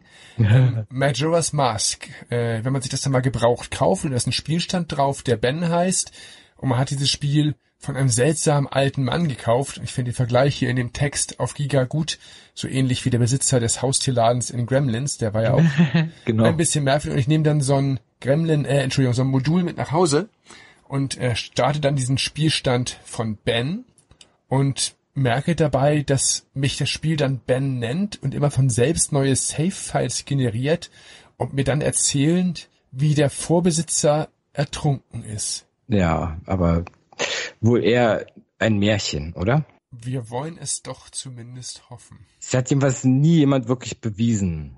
Also es könnte wahr sein. Oder auch nicht. Wenn Shigeru Miyamoto ähm, von einem geheimnisvollen Gegenstand in Zelda spricht und sagt, dass es den Triforce gibt, das göttliche Artefakt, was passiert dann? Ja, dann machen sich alle auf die Suche danach, ne? Also sogar ich habe von der Geschichte schon gehört, obwohl ich ja die, die Zelda-Spiele nie gespielt habe, großartig. Ähm, ja, es gibt keinen Beweis dafür, dass es dieses äh, Ding wirklich im, im Spiel gibt. Und alle Screenshots und Videos, die es so gibt, haben sich wohl angeblich als Fakes und und nach äh, also Verarsche ähm, erwiesen. Ähm, ich weiß es nicht, ich habe nichts davon gesehen. Ich glaube es auch eher nicht. Also der Shigeru, äh, dieser Miyamoto, der hat öfter mal so komische Sachen von sich gegeben. Man darf bei, durfte bei dem echt nicht alles glauben, was er gesagt hat. Oder was man natürlich glauben kann, wenn ein Spiel wie Tomb Raider erscheint, dann gibt es doch mit Sicherheit ein Nacktsheet. Und das Ja, Gerücht ja, ja, kann ich mich sehr, sehr gut, sehr, sehr gut dran erinnern damals. Und ich habe auch alles Mögliche versucht. Und es haben auch Leute damals auf dem Schulhof oder an der Uni, ich weiß nicht, welchen, von welchem Teil wir da gerade reden, aber immer gesagt, klar gibt's das, ich habe das schon ausprobiert, man kann den Nacktsheet starten. Und wir haben uns damals alle auf Deutsch gesagt, totgegoogelt zumindest, als es das Netz schon gab. Ähm, ja, gab's den Nacktsheet, ja oder nein? Äh, leider nicht, obwohl ich auch gern diese drei Kanten in Fleischfarben gesehen hätte. Aber nein. Aber, aber, aber ich habe das doch gespielt und sie war doch nicht angezogen. Wie geht das denn? Ja, es gab da irgendwie äh, ein Mod oder so, ne, wo man das irgendwie, äh, äh, das von irgendjemand äh, kam und ähm, wo man das halt dann halt äh, nackt sehen kann. Klar, wurden ja viele Spiele gemoddet. Auch bei Sims habe ich gehofft, dass man was nackt sehen kann oder dass man immer, wenn die auf dem Klo sitzen, dass es nicht weggeblurrt Gab, wird. gab's, gab's ja auch als äh, Patch. Genau. Alles Also ist möglich. natürlich nicht vom Hersteller. Nein, nein. Aber was sehr schön ist, und da muss ich auch wieder lachen, all das ging das wohl ziemlich auf den Sack, dass Leute alle einen Nacktsheet für ihre Lara gesucht haben. Und was haben sie dann gemacht? Sie haben für den zweiten Teil einen solchen Sheet bestätigt. Und dann haben natürlich alle Lara nackt sehen wollen. Und? Ja, und was passiert? Wenn du den Cheat eingibst, dann explodiert die Spielfigur. Der moralische Finger. Absolut. Wusste ich aber ehrlich auch nicht. Das habe ich noch nicht probiert. Ja. Ja, was auch existieren soll, ist bei World of Warcraft, äh, oder sind bei World of Warcraft die unheimlichen Kinder von Goldhain. So, die treiben sich in irgendwelchen Wil äh, Wäldern rum und bilden mit ihren Körpern Pentagramme. Ja, das gibt's wirklich. Aber ich meine, bei World of Warcraft das, ist es halt gar nicht mal so ungewöhnlich, dass es auch so eine komischen, weil da gibt's ja viel Eigenleben in dem Spiel. Die, die NPCs, die machen ja eine ganze Menge komische Sachen da. Aber das ist schon ein merkwürdiges Ritual, oder? ja, natürlich, das ist so satanistisch und dann auch noch Kinder. Also hallo, das da. nicht gerade so. Aber durchaus vorstellbar und soll ja wohl auch stimmen. Ja, und wenn du dann entspannt schläfst und deine Xbox neben dir nicht abgeschaltet hast und du hörst dann komisches Piepen und Stimmen und Geflüster, hast du dann einen Albtraum oder fängt die Xbox tatsächlich irgendwann an, wenn man zu lange im Hauptmenü stehen bleibt, zu flüstern? Ey, keine Ahnung, erzähl mal, gibt's das wirklich? Sie oh. fängt an zu flüstern. Microsoft hat bekannt gegeben, das sind ähm, freie Sounds der Apollo-Mission, die dann einfach per Zufall abgespielt werden. Aber natürlich, wenn ich mir, wenn ich mir vorstelle, ich sitze da jetzt oder liege gerade im Halbschlaf und höre dann solche Funksprüche aus meiner Konsole, ich glaube, ich würde mir auch ernsthaft Gedanken. Seltsame Idee, ne? Was, was treibt die Leute an? Sowas wie, oh, das ist ganz toll, ganz eigen, einzigartig. Die Leute werden es lieben, wenn sie einschlafen. Was soll der Quatsch? Verstehst ich weiß nicht. nicht. Wahrscheinlich ist das so wie eine Figur in einem Spiel, die dann, wenn du zehn Minuten lang was nicht machst, dich böse anguckt, mit den Füßen trippelt. Das gab es ja auch bei einigen Spielen. Ja, genau. Okay, verstehe. Vielleicht habe ich einfach zu wenig. Ich habe zu wenig. Ich habe zu wenig Humor. Wobei, wie gesagt, wenn du da beim Halbschlaf bist, ich würde mich wahrscheinlich auch erschrecken. Und damit schließen wir schon wieder den Kreis. Das ist dann ja so ungefähr so, als wenn Black und äh, ja, als wenn Black und White meinen Namen ruft. Also ja. das ist ja gibt schon sehr sehr Humbug. merkwürdige Dinge in Spielen, viel Humbug, viel Quatsch, viel Fakes. Aber erstaunlicherweise. Viel Wunschdenken auch natürlich. Ja, ja, aber aus vielen Wunschdenken sind die Sachen geworden. Die wurden dann in der nächsten Folge aufgenommen. Das hatten wir jetzt wirklich drei, vier Mal. Mhm. Na klar. Das finde ich auch einen schlauen äh, Schachzug von den Entwicklern, weil das verstärkt ja den Mythos sozusagen nochmal mehr Gerede als alles Werbung. Alles Werbung fürs Spiel. Genau. Und ich denke, ich werde jetzt deswegen nochmal eine Runde Polybius spielen. Hinterher renne ich mit meiner Kettensäge durch ja, durch Super Mario 64? Durch Super Mario 64 und finde dann dort äh, noch ein, mehr Benzin. Ein Werwolf unter einem Truck und plötzlich taucht Shenlong auf und erfüllt dir einen Wunsch. Genau, und Lara Croft schaut nackt zu und winkt mir entgegen. Oh, das wär's. Ja. Ja. Ja, vielen Dank für diesen kleinen Streifzug und äh, wir gucken mal, was wir noch so an weiteren Mythen finden. Ja, das war echt super interessant. Und dann gibt es natürlich auch ganz viele Mythen, die sich auf Soft- und Hardware beziehen. Und die schaue ich jetzt mal zusammen mit Robin durch, denn viele davon kennen wir wahrscheinlich aus den letzten Jahren, Jahrzehnten auch. Ja, Robin, fangen wir mal mit einem Standard an. Nur vollständig entladene Akkus soll man neu laden, weil sonst gehen die ja irgendwann kaputt. Das weiß doch jeder, oder? Ja, das Problem ist, solche Sachen sind natürlich deswegen ein Mythos, weil das hält sich schon ein paar Jahre. Und früher war das auch in Ordnung. Denn die Technologie, die sich in den Akkus befinden, also die Steuertechnologie, Speichertechnologie, hat sich über die Jahre halt verändert. Und ähm, früher haben wir sogenannte Nickel-Cadmium-Akkus, also NIC, äh, NICD heißen die, wenn ihr das draufstehen habt, oder Nickel-Metallhydrid, NIMH benutzt. Und dort gab es den sogenannten Memory-Effekt. Das haben wir auch bei der Gamescom immer erzählt, dass wir den Memory-Effekt haben. Äh, wir verlieren jeden, jeden Tag zehn Prozent unserer Leistung. Und ist es so, dass bei Akkus dieser Bauart das in Ordnung ist. Dadurch kann man diesen Memory-Effekt umgehen. Aber bei modernen Akkus, also Lithium-Ionen oder Lithium-Polymer-Akkus, äh, nützt das gar nichts, dadurch macht ihr sie eher sogar kaputt. Ich habe auch das schöne Beispiel mit dem Handy. Ich habe äh, früher, oder was heißt früher, vor ein, zwei Jahren Handys äh, nur einmal am Tag geladen, beziehungsweise nicht an der Steckdose nachts gelassen am Ladekabel. Ähm, und jetzt mache ich es und es hat keinerlei Auswirkung die sind nach zwei Jahren sind sie sowieso kaputt, davon mal ganz abgesehen. Mal abgesehen davon, dass wenn die Garantie sowieso äh, aus, aus, ausgeht, abgeht, ist dann sowieso Schluss mit den Geräten. Die haben dann äh, eine geplante, äh, einen geplanten Defekt nach zwei Jahren und dann ist das sowieso egal, richtig. Also ihr könnt eure Akkus im Endeffekt heutzutage zumindest laden, wie ihr wollt. Außer es sind wirklich sehr, sehr alte Akkus, aber die sollte man vielleicht dann auch mal austauschen. Moderne Notebooks haben manchmal so Steuerelektroniken, die dann halt nur eine gewisse Menge an Leistungen zulassen zu bestimmten Punkten. Die machen das dann auch noch mal klüger weil man soll auch nicht immer auf volle Kanne äh, hoch, hochladen. Da gibt's auch manchmal Probleme mit den Akkus, die bleiben dann immer so bei 80 Prozent oder sowas. Das ist eine Erhaltungsladung auch. Das ist genauso ein Punkt, was ja. die Geräte von selbst machen. Genau. Ja, aber dafür kann ich ja, wenn ich im Internet surfe, immer anonym surfen mit irgendwelchen Programmen. Und da weiß auch keiner mehr, was ich tue und ich kann dann machen, was ich will. Ist das mindestens richtig? Ja, sagen wir mal so. Man kann das ein bisschen also es gibt kein klares Ja und kein klares Nein. Ähm, irgendjemand wird immer wissen, wo man, wer man ist und wo man war. Es äh, gibt dann einfach Firmen, die versuchen einem dann das, äh, naja, sie sagen dann, dieser, dieser Zwischenweg, den, den man macht, der geht dann über einen Server, der dann nicht überprüft werden könnte, aber natürlich ist alles nachverfolgbar. Also es gibt, es gibt de facto keine Möglichkeit, anonym zu surfen. Das kann man, glaube ich, so sagen. Grundsätzlich richtig. Und vor allem dein Provider weiß auch die Uhrzeit, wann du grob was gemacht hast, zumindest auf welchen ersten Server du gegangen bist. Genau. Und ähm, wenn du zum Beispiel jetzt in einem Browser diese tollen privaten Seiten, also privat surfst, das ändert sich nur auf deinem Rechner. Da werden keine Cookies gespeichert, keine History gespeichert, aber der Provider weiß okay, genau, auf welcher Seite du warst. Also so oder so, ihr benutzt immer einen sogenannten äh, DNS-Server, also ihr tippt immer irgendeinen Namen ein, auch im privaten, äh, im privaten Bereich und auch der wird natürlich irgendwo umgewandelt in eine IP-Adresse. Das heißt, so oder so, irgendjemand weiß immer, was ihr gemacht habt. Zumindest weiß derjenige, welchen Dienst ihr verwendet habt, um was zu verschleiern im besten Fall noch. Genau. Ja, ähm, wir sind ja nun leider PC-User und wir haben Probleme mit Viren, Probleme mit diesen ganzen bösen Dingen. Wie gut, dass Apple-Computer dagegen immun sind. Ja, ähm, vielleicht mein Lieblingsmythos. Ich bin ja sowieso äh, jemand, der diese Firma und die Produkte doch immer etwas skeptisch sieht, weil die Kundschaft halt vieles von diesen Mythen nach Jahrzehnten immer noch äh, Infos hat und immer mir wieder wird mir erzählt, dass doch der Apple immun sein gegen die Bedrohung aus dem Internet. Und auch das ist natürlich nicht stimmig. Es gibt eine einfache Erklärung dafür, Patrick. Das ist eigentlich die Verbreitung der, der Geräte. Ähm, es gibt weniger Apple-User als PC-User. Genau. Würde es 80% Apple-User geben, hätten wir dort wahrscheinlich auch 80% der Viren. Denn was sollen Viren erreichen? Was sollen Viren machen?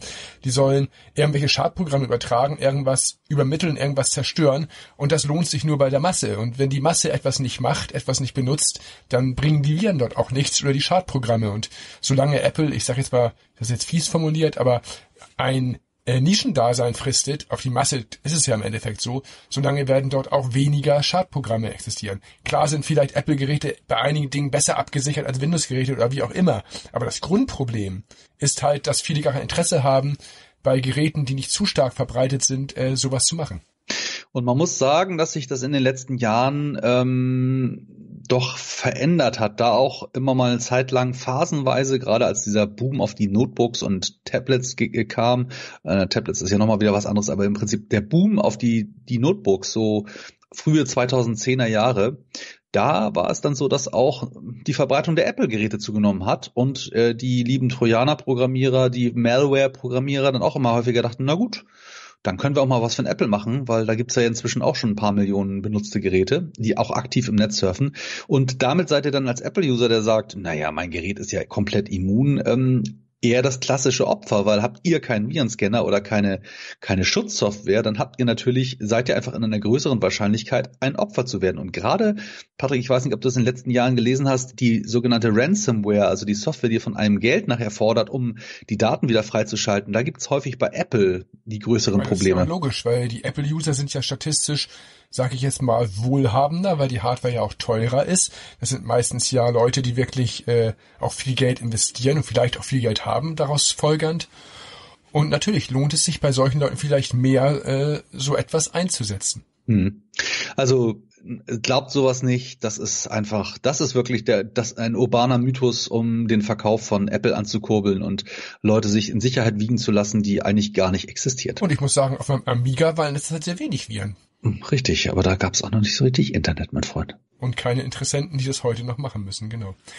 Ja, wir haben eben schon über Surfen gesprochen. Ähm, da werden ja diese bösen Cookies abgelegt. Die sind immer böse, man muss sie immer löschen, weil Cookies sind eine ganz verteufelte Geschichte.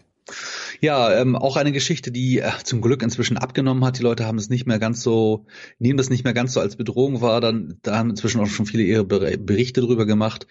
Denn ein Cookie ist nichts anderes als eine lokale Datei, die abgelegt wird, wenn ihr zum Beispiel auf einer Homepage eine bestimmte Startseite mögt. Was weiß ich, ihr geht auf, äh, auf eine Zeitung und ihr habt normalerweise den Wunsch, dass wenn ihr auf die Zeitung geht, dann gleich ein Sportteil reinspringt. Das macht ein Cookie. Oder ihr habt auf einer Seite euer Kundenkonto vermerkt, zumindest oberflächlich, also dass er ungefähr weiß, wer ihr seid. Das ist auch ein Cookie. Und Natürlich gibt es auch schlimme Cookies, aber ein Cookie ist erstmal nur eine Hilfe für euch, dass die Seite weiß, wer ihr seid, beziehungsweise falsch. Das ist falsch erklärt, denn eigentlich muss man sagen, dass euer Computer weiß, dass ihr die Seite schon mal aufgerufen habt. Weil die sind habt. nicht öffentlich, schon mal was klar zu sagen. Nicht genau, die bleiben bei euch. Reingucken, die bleiben bei euch. Natürlich kann sowas missbraucht werden, Gottes Willen, das ist mit Sicherheit richtig und man kann auch damit viel geleitet werden auf Seiten. Aber erstmal geht es darum, äh, auch teilweise tatsächlich den Surfgenuss äh, zu verbessern oder auch euren Bedürfnissen anzupassen. Das heißt, kon konsequent zu sagen, alles in der Richtung ist falsch, ist auch nicht korrekt. Man muss natürlich aufpassen, was man im Internet angibt, was man preisgibt, aber die Cookies sind nicht das Hauptproblem, würde ich mal sagen, sondern eher der Mensch, der davor sitzt. Genau, wie immer bei vielen von diesen Mythen äh, ist der äh, die Person hinter der Glasscheibe oder hinter der Plastikwand, je nachdem, was ihr für, ob ihr noch einen Röhrenmonitor habt, äh, eigentlich meistens das Problem. Ja, dann ist auch immer wichtig, dass die Festplatte schnell läuft, dass der Rechner schnell läuft. Und ich kann mich an die Zeiten erinnern, wo ich stundenlang vor einem Mosaikmuster gesessen habe und meine Festplatten defragmentiert habe. Immer wieder habe ich Blöcke verschoben, damit die Daten besser zusammensortiert sind und schneller starten, was im DOS-Bereich auch immer noch sehr gut funktioniert hat, auch bei älteren Windows-Versionen. Und heute wird teilweise gesagt, dass es nicht mehr sinnvoll ist. Das heißt, ich soll meine SSD jetzt nicht jeden Tag defragmentieren. Ja, was sollen wir sagen? Also wenn ihr der, der Industrie helfen wollt und dem Hardwarehändler bei euch in der Straße auch helfen wollt, dann defragmentiert fleißig eure SSDs. Ähm, und es wird dazu CF-Karten auch. Und genau alle alle Art von Speicherkarten, alle die ähm, so äh, klassischerweise äh, SD-Karte, CF-Karte, das ist optimal, weil dann habt ihr könnt ihr nach ein paar Monaten schon euch neue Speicherkarten oder neue Festplatten kaufen. Denn äh, das Defragmentieren von SSDs ist tunlich zu vermeiden, weil diese Festplatten oder dieser Art von Speichermedien äh, gewisse Schreibzyklen haben. Das heißt, der, die, der einzelne Bit kann nur eine gewisse Menge mal ähm, sich schalten. Das heißt, ab einer bestimmten Zeit und gerade Häufigkeit, wenn dort fragmentiert wird, führt das dazu, dass der die Stelle vielleicht äh, schon beim ersten Mal defragmentieren 100 Mal benutzt wird und dann habt ihr nur noch 90, 80, 70 Prozent Lebensdauer auf dieser Stelle. Deswegen ab Windows 7 passiert die Defragmentierung vollkommen automatisch, sowohl die, äh, wenn ihr eine mechanische mechanische Festplatte habt, als auch eine SSD. Ähm, bei SSDs, wie gesagt, bitte diese Funktion komplett. Also solltet ihr auf einem Windows XP-Rechner eine SSD benutzen, schaltet bitte die automatische Defragmentierung aus. Das macht sonst die Festplatte kaputt. Das habe ich nämlich manchmal auch schon im, im, Alltagsbetrieb gemerkt, dass Kunden mir dann da irgendwas erzählen von wegen, wie sie da irgendwie die Festplatte defragmentieren. Ähm, mechanische Festplatten kann man theoretisch defragmentieren, wenn man möchte. Wie gesagt, ab Windows 7 ist es eigentlich geschwindigkeitstechnisch nutzlos. Es hat bei alten Betriebssystemen eine Menge gebracht auch bei DOS teilweise, wenn da irgendeine größere Datei oder eine äh, Level-Datei äh, auf 30 verschiedene Stellen verteilt war, das hat schon viele Sekunden eingespart. Also damals war es definitiv sinnvoll. Genau, aber damals haben wir halt auch Zugriffszeiten gehabt, die wahrscheinlich im Sekundenbereich waren. Heutzutage sind wir im Millisekundenbereich und dadurch ist das nicht mehr so schlimm wie früher. Ähm, und Ganz wichtig bei SSDs hatte ich eben noch vergessen, fällt mir gerade ein, ähm, da passiert sogar intern was. Also eine Festplatte ähm, wird halt durch Windows defragmentiert. Bei SSDs gibt's eine interne äh, Garbage Control, heißt das, glaube ich, und einen, einen Trim-Mechanismus, der dafür sorgt, dass ähm, die Zelle nicht überlastet wird, also dass die einzelne Zelle nicht so viel tun muss. Ja, ähm, das Gute ist ja, wenn ich ein Backup mache auf ähm, Festplatten zum Beispiel oder auf andere Medien, die halten ja dann ewig. Digitale Daten sind doch das beste Medium zum Absichern. Das ist doch eine tolle moderne Entwicklung, dass ich das nicht mehr irgendwie ja alles abschreiben muss. Genau, und wenn ihr ein Datensicherungsinstitut in eurer Straße habt, dann macht es bitte, speichert alles auf USB-Sticks oder auf CDs ab oder auf DVD-Rollen. Gerade die billigen äh, Patrick, wenn du dich früher erinnerst an diese, wie hießen die, Premium, oh Gott, wir hatten früher eine CD-Marke. Die war schon, war schon anfällig, als man sie aus der Packung geholt hat, ja. Genau, da hat man schon gesehen, dass die Oberfläche, die sah, ich glaube Premium hießen die, die sahen schon am Anfang seltsam aus. Und das waren die die nach ein, zwei Jahren ähm, sich oben wie bei einem Pappteller oben die äh, datenführende Schicht. Sie schon bröselten. Genau, oder sie äh, wie eine wie eine Käseschicht auf einer heißen Pizza oben löste sie sich, wenn sie härter wurde, ab und man konnte sie einfach oben abziehen. Ähm, ja, also es gibt äh, die sehr geschätzte Zeitung, äh, äh also Heise äh, CT hat einen Langzeitarchivtest gemacht und hat festgestellt, dass Archiv-DVDs also DVD-RWs oder DVD-Rs plus oder minus, rund 18 Jahre halten. Das heißt, äh, der DVD-Brenner, ich weiß nicht, wann er rausgekommen ist, 2000, 2002 oder sowas ist, glaube ich, ein DVD-Brenner auf den Markt gekommen, 2001. Ähm, diese gebrannten Rohlinge dürften inzwischen schon mit einer kleinen Wahrscheinlichkeit schon nicht mehr funktionieren. Ja, wie gesagt, je nach Lagerung fangen die wirklich auch irgendwann an, sich zu zersetzen. Vor allem die ersten Rohlinge waren wahrscheinlich auch noch nicht technisch so gut, dass sie ewiger halten. Ewiger ist auch ein falsches Wort, aber sie länger halten. Und ähm, ich habe schon wirklich Rohlinge bei mir aus Backup-Sätzen von früher mir mal angeguckt. Ähm, die waren auch schon ähm, fleckig, sage ich mal vorsichtig. Und gleiches gilt auch für übrigens für USB-Sticks. Ich habe auch äh, vor kurzem im Laden einen USB-Stick von mir gefunden, den ich mal vor äh, 206, nee, 128 MB USB-Stick, den ich mal vor Ewigkeiten äh, gebraucht hatte, als ich damals im Außendienst gearbeitet habe. Das ist also auch schon 15 Jahre her. Da waren meine bootbaren, mein, mein Acronis True Image, also mein mein äh, mein äh, Festplattenübertragungsprogramm drin und dieser Stick war wie neu. Ich habe ihn reingesteckt, er sagte, oh wunderbar, ein neuer USB-Stick, darf ich ihn formatieren? Und da habe ich mir schon gedacht, okay, also wenn wir jetzt schon bei USB-Sticks sind, die wenn es da schon so beginnt, das wird noch eine lustige digitale Zukunft. Und selbst bei Festplatten, äh, es bringt auch nichts, jetzt alles auf Festplatten abzusichern, die dann abzuziehen und in den Schrank zu packen oder im Tresor bei der Bank zu lagern für Jahre. Denn Festplatten, die auch nicht wieder angeschlossen werden, halten nicht besser als welche, die mal wieder angeschlossen werden. Gibt ja sogar den Hinweis oder den Tipp, man soll alle zwei, drei Jahre seine Festplatten nochmal wieder äh, überkopieren, weil auch da natürlich die Magnetisierung irgendwann äh, ja im Endeffekt nachlässt äh, oder sich verändert, wenn man sie gar nicht mehr anschaltet. Das hilft nicht, das wirkt dem nicht entgegen. Also wir sehen, äh, digitales Speichern ist ein Thema für die Zukunft, im wahrsten Sinne des Wortes. Äh, es gab früher mal Firmen, die haben damit geworben, dass ihre Lesegeräte beziehungsweise die Technik, auch glaube ich das Bernoulli Drive hat da damals, wo wir da mal schon mal drüber gesprochen hatten, hatte damals damit geworben, dass die Daten für 80 Jahre, 100 Jahre sicher sind. Aber ganz ehrlich, funktioniert das Lesegerät heutzutage noch? Ich glaube, da gibt es schon Schwierigkeiten. Ja, hat das Gerät noch vor allem. Nein, ja. also im Augenblick ist wirklich eine der sichersten Methoden eine Cloud-Speicherung, wenn natürlich die Firma existiert weiterhin, weil dort natürlich äh, ein System ist, wo defekte Festplatten vom Anbieter dann immer sofort äh, während des Betriebes ausgetauscht werden und auch mehrfach Backups laufen. Also diese Cloud-Geschichte ist eigentlich jetzt von den ganzen Problemen, die das aus äh, Sicherheitssachen äh, bereithält, äh, eigentlich eine recht, ja, eine recht langlebige Sache.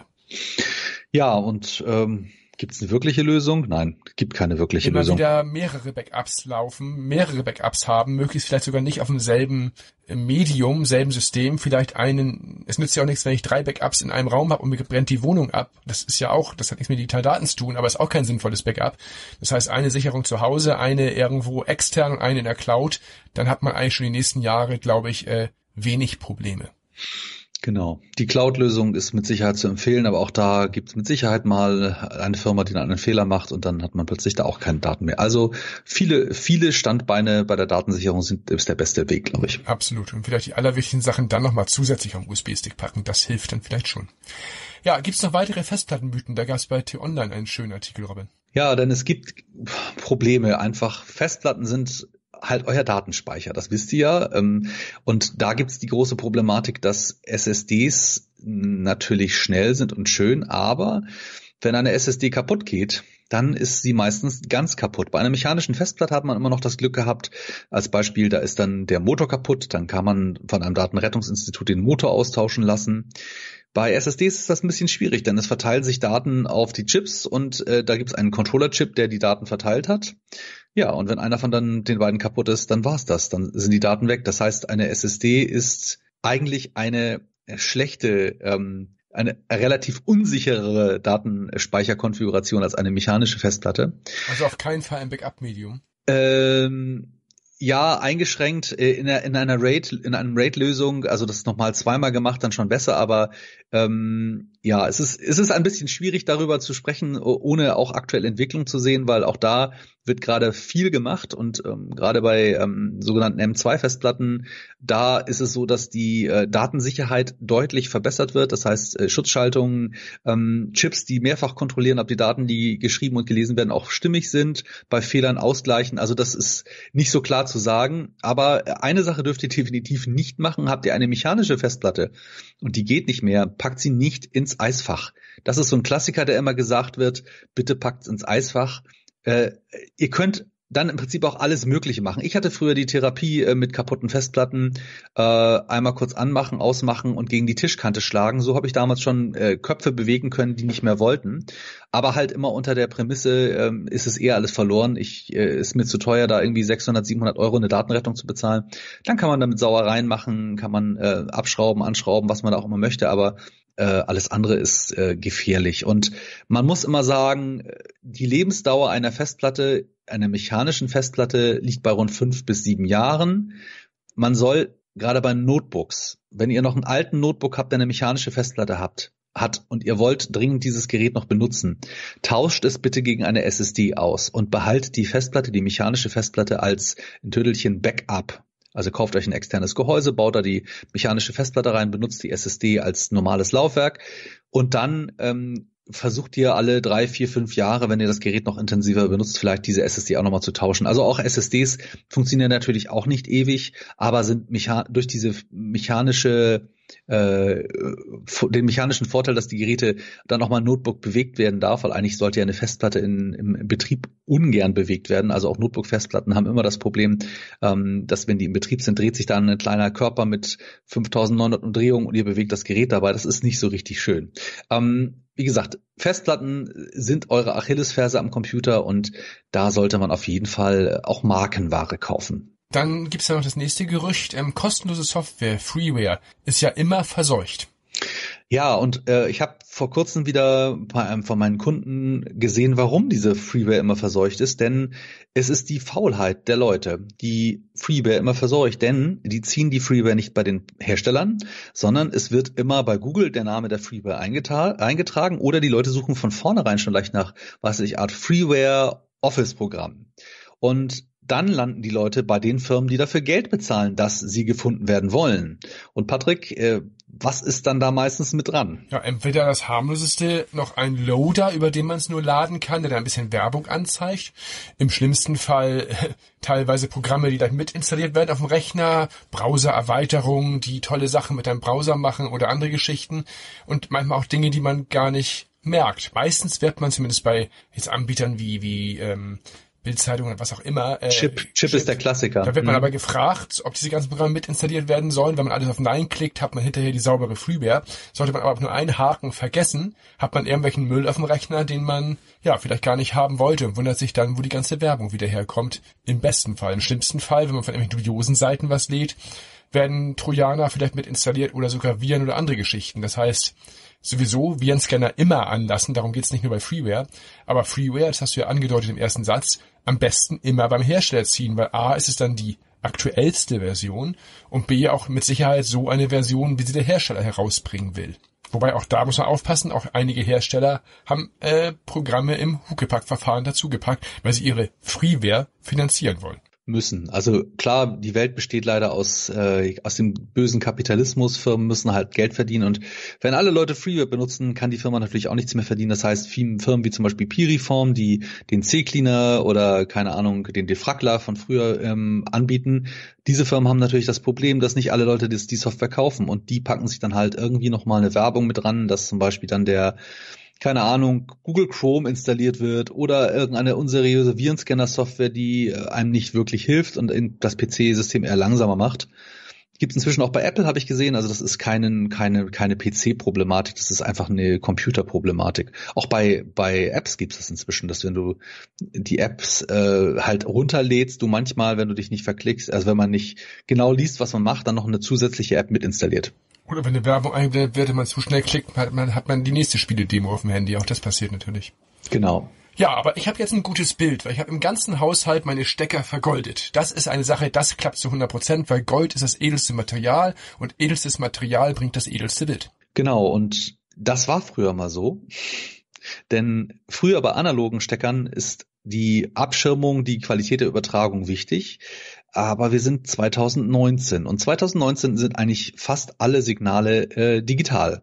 Und was ist der Vorteil einer digitalen beziehungsweise das, die digitale Übertragung gegenüber einer analogen?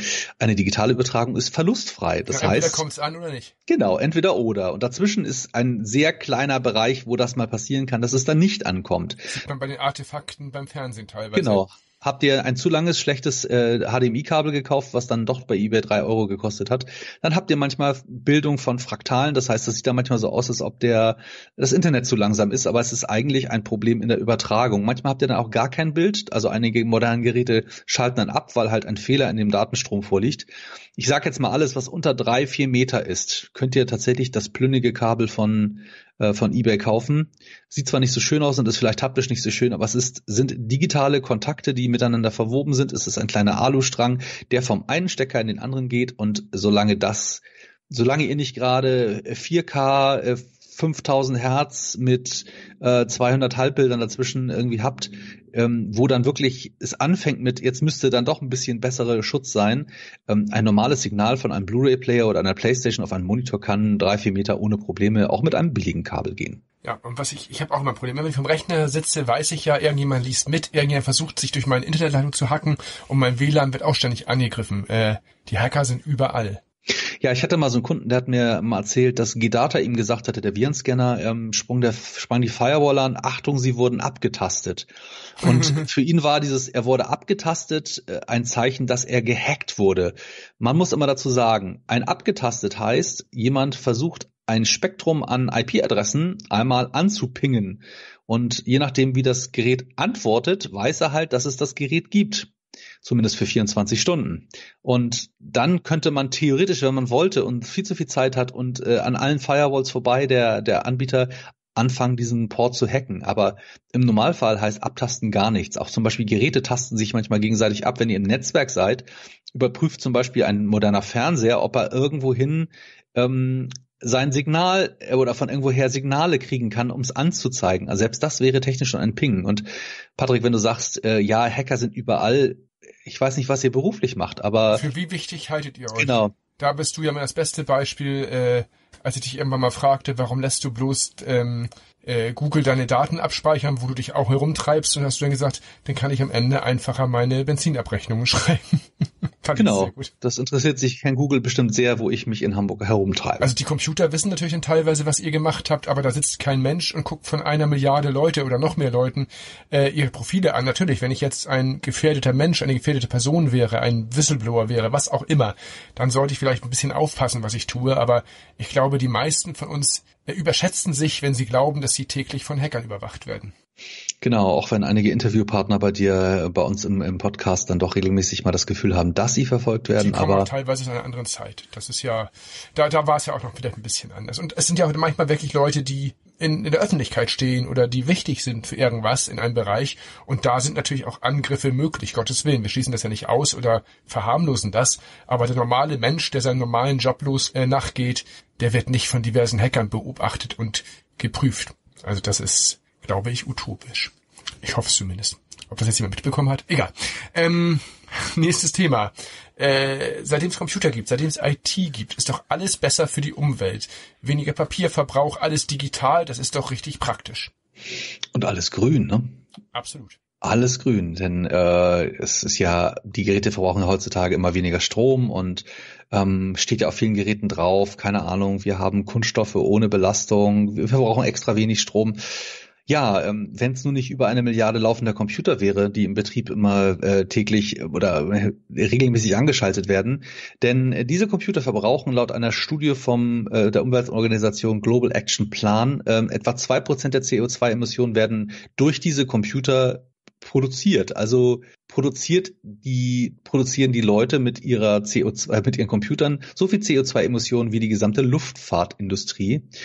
Klar ist das das Problem der Menge, weil es einfach viele, viele, viele Computer sind. Und dann muss man einfach mal sagen, es gibt Länder, auch zum Beispiel China und auch ähm, weitere Schwellenländer, die haben das Problem, die produzieren ihren Strom aus Kohle oder Gas oder nicht regenerativen Energien mit der Konsequenz, dass umso mehr Computer benutzt werden, natürlich auch mehr, umso mehr Kohle, äh, Kohlendioxid entsteht.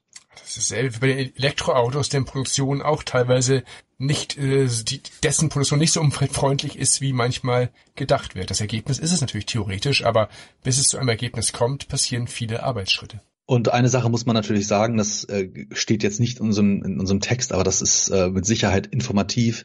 Die Menge an Müll, die durch EDV entsteht, ist so immens groß. Die Probleme, die in Afrika dadurch entstehen und in Asien entstehen, durch diese Berge von alten Computern, die dort, äh, gerade in Afrika gibt es ja immer wieder diese Berichte, das sind, das ist so schlimm. Eigentlich, eigentlich ist es, glaube ich, äh, mal abgesehen von dem Trend, dass äh, die Computer die Arbeitsplätze vernichten, und das ist auch ein de facto auch so, ist das Problem, äh, den Müll, den wir damit produzieren, das ist gigantisch. Ich möchte wissen, wie viel, wie viel Millionen Röhrenmonitore in, in Afrika in irgendwelchen, an irgendwelchen Orten noch verweilen. Ja, äh, dann sollte man zu Ersatz greifen, zu Ersatzstoffen greifen. Robin, du hast doch früher sehr oft, auch heute noch, Wärmeleitpaste benutzt und manchmal Ja. hast du ja die Tube gesucht und sie war nicht da. Ähm, jetzt habe ich gelesen, Ketchup und Nutella machen es auch. Ja, natürlich. Sieht ja auch fast genauso aus, hat fast dieselbe Konsistenz, schmeckt vielleicht ein bisschen besser, aber äh, ja, geht ja auch. Ja, theoretisch geht's auch. Also der theoretische Nutzen äh, ist der, eine Wärmeleitpaste wird zwischen dem Prozessor oder zwischen, zwischen einem Lüfter beziehungsweise Kühler und einem Chip, der Wärme erzeugt, ähm, dazwischen getan, damit die Unebenheiten des Prozessors ähm, so weit ausgeglichen werden, dass die volle Fläche gekühlt werden kann. Es gibt dabei aber ein Problem. Äh, Computer laufen nicht immer auf derselben Temperatur, werden auch mal ausgeschaltet und äh, dann gibt es natürlich auch Schwankungen in der Umgebungstemperatur und das Problem ist, es gibt Sauerstoff. Ähm, macht ihr jetzt eine, eine Wärmeleitpastenersatz aus Nutella, Ihr wisst selbst, lasst mal, lasst mal Nutella einfach mal ein Glas in der Sonne stehen oder mal einfach in, es trennt sich irgendwann ähm, das äh, geliebte Palmöl von den anderen Bestandstoffen und das wird dann auch unter diesem Lüfter passieren, äh, unter diesem Kühler passieren. Das heißt, äh, lange wird es nicht gut gehen, aber eine Zeit lang könnt ihr das nutzen und ich glaube, mit Ketchup müsste es noch schlimmer sein, weil der Kunststoff, äh, weil der Kunststoff, das, der andere Kunststoff, weil der Zucker natürlich, der sehr stark vorhanden ist im Ketchup, irgendwann wahrscheinlich gleich. Genau, der karamellisiert oder er wird einfach knallerhart fest und dann ist es keine Wärmeleitpaste mehr, dann ist es äh, Klebstoff und Klebstoff ist kein guter äh, Wärmeleiter. Also das macht, glaube ich, nur sehr bedingt Sinn. Ja, ähm, aber es kommt auf die Größe an, das sagt man doch immer. Und große Lüfter kühlen doch immer besser als leise Lüfter oder kleine Lüfter, richtig? Ja, das ist so wie mit äh, Computer mit RGB-Beleuchtung sind immer schneller als die ohne RGB-Beleuchtung. Ähm, ja, Gibt es. Es gibt sowohl als auch. Ähm, eigentlich interessant daran ist, wie schnell drehen sich diese Lüfter und nicht die Größe. Und dann wäre wieder die Frage, ist einem das egal, weil man sitzt in einem Rechenzentrum oder sitzt man zu Hause in einer äh, in einem 10 Quadratmeter Raum mit zwei Leuten und da ist irgendwo ein Computer, der der hat einen Lüfter eingebaut. Also das ist, das ist so ungefähr eine nutzlose Frage zu sagen, der größere Lüfter kühlt auch besser und das war auch früher immer ein Problem, wenn die Kunden ähm, sich damals um einen Rechner kümmerten oder uns gefragt haben, ob wir einen bauen können und dann habe ich den halt einen klassischen günstigen Stockkühler verkauft, habe gesagt, hier, der kostet nur acht Euro. Ähm, ja, aber ich habe gerade gesehen, da gibt's einen riesigen von Noctua, der kostet so und so viel Euro, der kühlt ja auch viel besser. Ja, macht er, aber auch immer ist die Frage, wie viel Kühlung braucht ihr? Also mal abgesehen von dem größer und kleiner haben nichts mit der mit der Leistung zu tun, äh, hat auch keinen Sinn, ähm, wenn man eine bestimmte Abwärme, Abwärme wegproduzieren möchte, wegtun möchte, muss man halt auch nur ein bestimmtes Pensum wegtun und gerade moderne Computer produzieren, ausgenommen jetzt mit den Top-Grafikkarten, Top-Prozessoren, immer weniger Abwärme und da ist es eigentlich, eigentlich kann man auch die, die Stockkühler, also die mitgelieferten Kühler verwenden, das reicht vollkommen aus. Also ich weiß, ich habe früher, wenn ich Disketten zerstören wollte, Magneten draufgepackt und dann waren sie weg. Also war die Magnetisierung kaputt und ähm, der Mythos Magneten zerstören Speichermedien ist zumindest ja äh, deswegen schon mal nicht falsch, äh, aber da hängt es wahrscheinlich von vielen ab, von der Stärke des Magneten und anderen Dingen. Oder was ist da das Problem? Naja, also wie magnetisch ist heutzutage noch eine Festplatte? Wie magnetisch ist heute ein, ein Speichermedium, wie ein, keine Ahnung, eine SD-Karte? Und da muss man schon wirklich immense Strom, immensen Strom an einen Elektromagneten legen, damit man dort eine Veränderung hinbekommt. Und ich kann mich erinnern, dass wir im Laden auch, ich habe irgendwann mal mir aus Jux so ein, das hat man vor fünf Jahren mal gemacht, weil die YouTube-Videos dann rauskamen, habe ich mir mal so einen Neodymium-Magnet, so einen super starken Magnet bei eBay gekauft. Und den hatte ich in den Laden gelegt. Und der ist äh, auf einer... Alles kaputt ist auf einer Festplatte hängen geblieben und ich habe mir den Jux gemacht, äh, diesen Rechner mal zu starten. Also mit, der, mit dem abgezogenen, ähm, also der, der, der, der hing nicht mehr drauf und äh, es ist lustig, äh, diese Festplatte hat nochmal ganz normal funktioniert. Also die Menge an äh, Magnetismus, die ihr produzieren müsst, um von einer von modernen Festplatte oder von einer bester SD-Karte, da brauchen wir gar nicht drüber reden, das ist ja, da musst du wahrscheinlich schon riesige Gerätschaften haben, um den zu killen. Nein, äh, das ist nicht der Faktor, der, der etwas löschen kann. Bei Disketten gehe ich, sehe ich das ein bisschen anders. Äh, Gerade bei, bei den großen, bei den 5 Viertel Zoll Disketten kann man, glaube ich, mit dem Magnetismus noch sehr viel erreichen. Ja, indem man sie einfach zerstört. Das klappt wirklich, das äh, habe ich auch schon damals ausprobiert. Das ging wirklich. Aber da war auch der Witz, wenn man manchmal hat sich auch wieder entmagnetisiert, wenn man es dann ein paar Tage lang wieder woanders hingelegt hat. Also das hat sich manchmal wieder umgekehrt tatsächlich.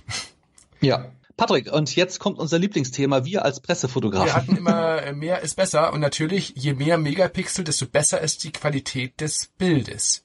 Ja, denn äh, es kam irgendwann eine Zeit, wo die kleinsten Kompaktkameras, die Leute sich so für 150, 200 Euro gekauft haben, da gab es eine Firma, die hat immer sehr gerne ähm, sehr viel Pixel gehabt. Ich finde, Patrick, wenn du dich an die Firma JTech noch erinnerst, die sehr gerne im äh, bei in deinem Haus und Haus und Hofmagazin Pearl ähm, Kameras angeboten haben mit 26 Megapixeln im Jahr 2008 2009 ähm, da wurde dann gesagt, die größte Auflösung auf kleinsten Raum und so weiter. Die Bilder waren auch riesengroß und es stellte sich raus, es war nur ein kleiner Trick, der gemacht wurde. Wahrscheinlich waren die interpoliert.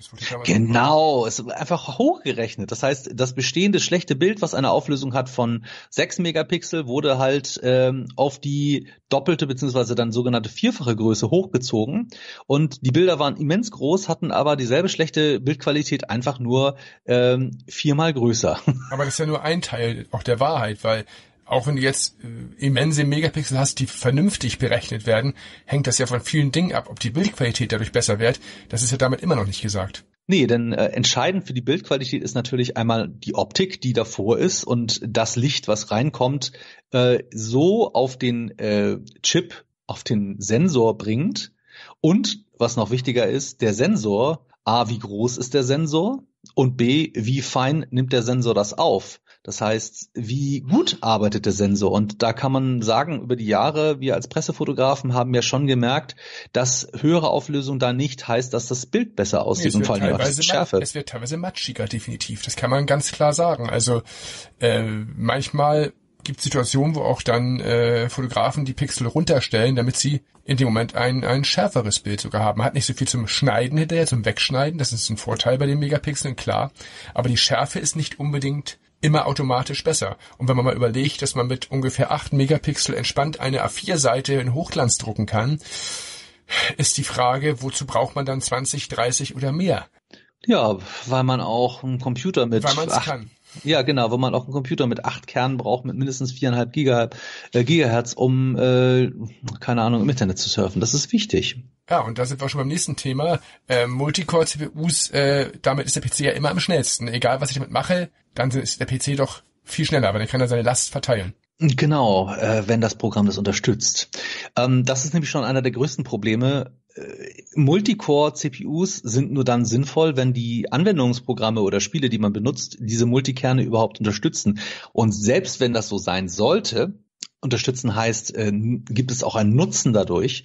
Und dann ist die Frage, ist nicht vielleicht ein Prozessor, der nur vier Kerne hat, dafür sind die vier Kerne schnell und nehmen die Daten auch schnell ab an und geben auch schnell, geben sie auch schnell weiter, äh, ist in den meisten Fällen dann sogar noch besser. Das heißt, ich habe das bei mir persönlich gemerkt, ich benutze einen 16-Kern-Prozessor äh, den habe ich aber auch nur, weil ich gehofft hatte, dass mein Bildbearbeitungsprogramm, was wir benutzen, dadurch auch schneller läuft. Ich musste aber feststellen, dass unser relativ einfacher, frisch oder neu gebauter Rechner, den wir im Laden haben, in unserem, äh, bei uns im Studio, der einen relativ simplen sechs, nee, eine acht Kerne hat, äh, der fast doppelt so schnell arbeitet wie mein 16-Kern-Prozessor, weil die Anwendung den einzelnen Kern, ist es wichtiger, dass der einzelne Kern schneller ist und der rechnet dann schon mit 4,2 Gigahertz anstatt bei mir mit 3,5 oder 3,8 und das einfach das Problem ist. Es ist immer eine Sache des Anwendungsprogramms. Und ich sage jetzt mal, jeder normale User, so der dann mal, mal spielt, dem reicht heutzutage ein Vierkerner vollkommen aus. Es sei denn, es kommen Spiele wie zum Beispiel Battlefield 5, die haben, glaube ich, eine Mehrkernunterstützung, die auch sinnvoll ist, bis zu acht Kerne. Darüber macht es aber auch schon wieder keinen Sinn. Einige Programme laufen sogar langsamer, wenn sie mehr als acht Kerne finden. Das hängt absolut von der Nutzungsart ab, ja. Ja, und wenn ich jetzt zu viel am PC mache und äh, damit ja immer mein äh, PC überlaste und vielleicht mein Netzteil immer überlaste, dann brennt der Rechner irgendwann ab, oder? Ja, Netzteile ist immer ein traumhaftes Thema. Ähm, es gibt bestimmt es gab immer wieder ähm, bei eBay auch, ich, ich sage das immer so gerne böse, weil eBay auch immer ein, ein Quell von Unwissenheit und ein Quell von sch schlechten äh, Teilen aus China oder aus sonst woher sind, ist. Ähm, da gab es ganz früher mal diesen Begriff China-Böller. Kannst du dich da noch daran erinnern, Patrick? Äh, nicht bei Netzteilen, aber bei Böllern ja.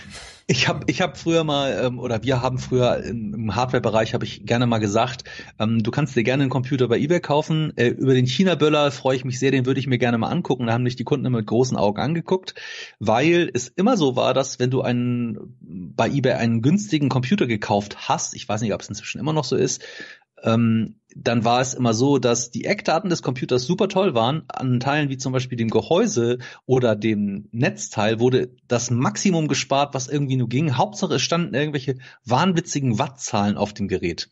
Ähm, also ein 500 Watt Netzteil von China, äh, aus China, das nur 18 Euro kostete bei eBay war der Traum eines jeden Elektrotechnikers, der freute sich über so ein Gerät und zu gucken, wie viel schlechte Bauteile kann man in Reihe schalten, äh, damit äh, bei 500 Watt das Ding einen um die Ohren fliegt. Deswegen China-Böller. Auch die äh, CT hat damals, glaube ich, Tests gemacht und hat es tatsächlich sogar geschafft, dass die Geräte teilweise explodierten.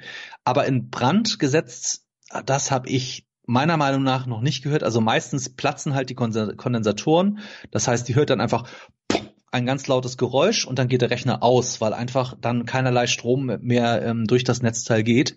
Ähm, aber auch die Zeiten sind eigentlich vorbei. Und selbst wenn man heutzutage bei günstigen Hardwarefirmen Netzteile kauft, ist es meistens so, dass die Geräte zumindest diese 80 Plus Norm schaffen müssen und dadurch eigentlich diese ähm, komplett ohne, ohne aktive Lüftersteuerung, also die immer auf voller Leistung laufen, schon gar nicht mehr angeboten werden. Und ganz wichtiger Faktor ist, dass die ähm, Wattzahl, das wäre nämlich noch ein Punkt, den hätte man noch mal sagen können, ähm, die Wattzahl, das ist auch immer lustig. Das gibt's halt heutzutage immer noch, dass dann draufgeschrieben wird, das ist ein 600 Watt Netzteil. Und es liefert gerade mal so viel Ampere an den 12 Volt Leitungen wie ein 400 Watt Markennetzteil. Das passiert immer wieder. Aber dann kann man ja zumindest äh, das nächste Klischee mal verwenden, passt super in einem Retro-Podcast. Neu ist immer besser. Neue Software, neue Hardware, alles neu ist immer die beste Lösung. Weg mit dem Alten, oder? Äh, ja, wenn man Geld ausgeben möchte und wenn man Apple-Jünger ist, ist das wahrscheinlich auch ein Faktor, den man machen muss, weil dann muss man ja auch immer einen gewissen State-of-the-Art-Level halten. Oh, das war jetzt schon wieder böse, ne? Aber äh, das ist häufig so. Ähm, ja, Patrick, neu ist immer besser. Ja gut, du bist auch jemand, der gerne neue Sachen ausprobiert, aber zumindest, ja. zumindest funktionieren sie nicht immer besser und auch nicht jedes Update ist besser als das vorige. Ja, aus Sicherheitsgründen muss man gewisse Updates machen, aus anderen Gründen muss man auch mal neue Sachen besorgen, Gottes Willen. Aber es wird dadurch nicht einfacher oder besser. Du hast vor 20 Jahren geflucht, du fluchst heute. Ja, und ich bin auch gerne mal ein Early Adopter, also jemand, der sich moderne Technologie frisch kauft. Und da muss ich sagen, das ist halt über die Jahre nicht besser geworden. Das heißt, man ist trotzdem immer noch in gewissen, in gewissen Dingen. Du bist ein Beta-Tester. Ja, ein Beta-Tester, muss man einfach sagen. Und auch ähm, gerade bei frischen Hardware-Serien, ob nur Netzteil oder Mainboard, sollte man nicht immer unbedingt das allererste mal kaufen, weil viele Hersteller dann in Revision dann merken, ähm, das sieht man dann immer gern an den, die schreiben dann von Haus aus inzwischen gerne mal Revision 101 hin, obwohl es eigentlich nur 1.0 ist, damit die Leute das Gefühl haben, dass, die, dass da schon mal die Revision rübergegangen ist und etwas verbessert hat. Ähm, ja, persönliche Meinung, äh, warte doch wenigstens mal ein, zwei Wochen. Gerade mit Preisen, da wären wir noch mal beim anderen Punkt, ist es so, dass bei Hardware äh, die ersten Tage, ersten Wochen meistens in der Region gehen, wo du denkst, wieso, das sollte doch nur 400 Euro kosten, wieso kostet denn jetzt die Karte 500? Ja, weil da Leute sitzen, die haben dann den ersten Container bekommen und verkaufen dann für 500 anstatt für 400. Ja, ähm, Computer sind manchmal schädlich und es gibt auch den Mythos, dass Notebooks impotent machen, zumindest wahrscheinlich, wenn man sie auf dem Schoß benutzt, oder wie ist das gemeint? Ja, Impotenz. Ähm, also wenn überhaupt, ist es die Temperatur des Gerätes und das hemmt die Qualität der Spermien oder die Qualität der Spermien werden schlechter, machen aber nicht impotent. Äh, es, es sind einfach zeitlich eingeschränkt für den Zeitraum und ganz ehrlich, wie lange hat man denn sein, sein Notebook auf dem Schoß? Also wenn jemand drei, drei Tage lang irgendeine Quest spielt bei World of Warcraft, irgendeinen Raid, dann kann das natürlich passieren, aber es ist einfach nur Wärme und auch Leute, die ich sag jetzt mal Leute, die in einer heißen Region wohnen, in irgendwo, keine Ahnung, in Afrika, auch die werden das Problem haben, dass es heiß ist. Und das führt im Endeffekt zum selben Problem. Also, äh, habt ihr so ein Gamer-Notebook, da gibt's ganz toll übrigens, hast, die hast du bestimmt schon mal gesehen, ne, Patrick, diese äh, für Gamer-Notebook, diese zum auf den Schoß packen, mit extra Lüfter eingebaut. Das ist dann Doppelbelüftung oder was ist das denn? Genau, dann äh, wird sozusagen, man packt sich auf den Schoß etwas gepolstertes, dann ist eine Platte und auf der Platte ist der Notebook und dann gibt's zusätzlich in diesen in den Teil per USB-Verbindung nochmal einen Lüfter, der die warme Luft unter dem Notebook wegführt. Dann lieber sowas. Absolut, kann man vielleicht ohne PC benutzen. Ähm, gut, dann kommen wir zum nächsten Punkt. Ähm, wenn ich im Betrieb den PC ausschalte, dann äh, kann er ganz schnell kaputt gehen. Ja, ähm, äh, ein klassisches Jein, würde ich sagen. Es gibt Dinge, die, die sind nicht so schön. Das ist zum Beispiel, wenn man eine mechanische Festplatte hat. Das heißt, ihr macht folgendes, ihr wie hat mein Fahrlehrer mal früh gesagt, das ist so, als ob man auf, mit 180 auf der äh, Autobahn plötzlich die Handbremse zieht, weil ihr benutzt ein Gerät, es dreht sich äh, mit 5900 Umdrehungen oder 5400 oder was auch immer und dann ist plötzlich der Strom alle. Das heißt, mit Glück äh, gleitet oder fährt die Festplatte ganz einfach runter, aber sie kann normalerweise nicht das machen, was sie normalerweise tun würde, nämlich die Festplatte runterfahren und die Köpfe parken. Das geht dann schwer oder gar nicht. Ähm, es gibt aber ganz große Probleme mit dem Betriebssystem und das habe ich auch bei Kunden immer mal wieder gesagt. Äh, das ist nicht so schön, weil Windows teilweise ähm, Dinge offen lässt, die er schreibt, die Windows schreiben möchte, müsste beim Runterfahren. Äh, auch als Beispiel, äh, wenn da Konten offen sind, gerade wenn ihr mit Online arbeitet, muss dieses Konto finalisiert und ausgeloggt werden. Macht ihr den Strom aus, dann kann es sein, dass das noch offen ist, nicht richtig abgeschlossen. Gerade in Firmennetzwerken muss das gemacht werden. Ähm, das ist ein Problem. Äh, und dann gibt's natürlich auch noch andere Dinge, wie zum Beispiel Temperatur ihr macht den Strom einfach aus. Es ist noch ein gewisses Potenzial an, an Hitze da unter dem Prozessor, unter irgendwelchen Chips und äh, die kann nicht mehr durchs sanfte herunterfahren, nämlich dass die der, der Prozessor nicht mehr arbeitet und dann noch zehn Sekunden oder was auch immer noch äh, die Wärme abgeführt wird, die an Rest da ist. Ähm, deswegen gibt es auch zum Beispiel, oder gab es eine Zeit lang mal ähm, Netzteile, die auch noch nachliefen. Also die Bauteile haben dann noch 20, 30 Sekunden nach Ausschalten des Computers immer noch nachgedreht oder alle Lüfter, die noch angeschlossen waren an dem Netzteil. Ähm, und wie gesagt, das Hauptproblem ist meiner Meinung nach eigentlich sind mechanische Festplatten und dass das Windows. Das, je nachdem, was gerade auch läuft am Rechner. Wenn natürlich gerade ein Backup-Vorgang läuft und man macht die Rechner aus, ist natürlich die Datei, die kopiert wird, in der Kopie schon kaputt. Das ist auch schon ein Problem, weil man weiß daher nicht, wie weit hat das Ding kopiert oder was auch immer. Man muss halt gucken, was währenddessen passiert. Aber ähm, so schlimm ist es natürlich auch wieder nicht, weil äh, ein Rechner friert ja auch manchmal ein und dann habe ich ja gar keine andere Wahl, als ihn auszuschalten. Und danach ist er auch nicht immer defekt. Ne? Das muss man auch ganz klar sagen. Und, und die Software ist besser geworden. Also Windows zumindest hat inzwischen weniger Probleme mit dem radikalen Abschalten als vor einigen Jahren. Das muss man auch ganz klar sagen. Da hat man dann oft irgendeinen Bootsektor zerschossen oder irgendwelche äh, temporären Speicherdateien zerschossen. Heute reagiert Windows tatsächlich ein bisschen humaner darauf. Bei Apple weiß ich es nicht genau. Ich kann es mir vorstellen, es basiert ja irgendwie auf Unix oder auf Linux so genannt. Ähm, das wird auch ähnliche Probleme haben. Es sind moderne Betriebssysteme, die naja, werden bei, auch. Bei Apple muss man auch die USBs, äh, die USB-Sticks vorher auswerfen und dann abziehen, ne? Mhm. Das habe ich gerade ja. letztens gehört. Anders geht es nicht. Äh, ah, komm, okay. Kommen wir mhm. gleich, glaube ich, nochmal zu. Ähm, den PC täglich runterfahren ist doch sinnvoll. Ähm, das ist eine zwiespältige Frage. Ähm, ich glaube, es gibt auch keine echte Lösung dafür. Aber man kann heutzutage bei modernen Computern, da kann man sagen, da muss man sich eigentlich bedanken bei den Notebooks, weil die PC-Technologie war ja früher eine reine Desktop-Technologie und die Notebooks haben viel moderne Technik gebracht, die dazu führte, dass der PC dem Notebook sich immer mehr ähnelt. Das heißt, angefangen von einem Stromsparmodus über ein äh, über ein Recovery State runterfahren, halb runterfahren, ähm, Stromsparmodus, bei dem fast alle Geräte aus sind. Man muss heutzutage Windows nicht runterfahren. Ihr könnt auch mal ein, zwei Tage das Gerät einfach in, im Stromsparmodus lassen oder äh, im, im, wie heißt das, äh, Energiesparen heißt das bei Windows 10. Ich weiß nicht, bei anderen Geräten heißt es auch. Also dass der Computer im Prinzip 95, 99 Prozent seiner Prozesse ausstellt, aber das Gerät immer noch theoretisch im, im Windows ist. Ähm, und darfst nicht vergessen, auch wenn wir jetzt äh, irgendwelche Server irgendwo laufen lassen oder sonst was, die sind rund um die Uhr an, ne? Muss man auch ganz klar sagen. Auch das ist kein großes Problem in der heutigen Zeit. Natürlich ist die Lebenserwartung ein bisschen dann geringer, aber die sind ja so hoch gerechnet, dass man wahrscheinlich sowieso das niemals erleben wird. Genau, und gerade ähm, die Lebenszeit von einem Standardcomputer bis auf die Festplatten ähm, das ist auch, äh, naja gut.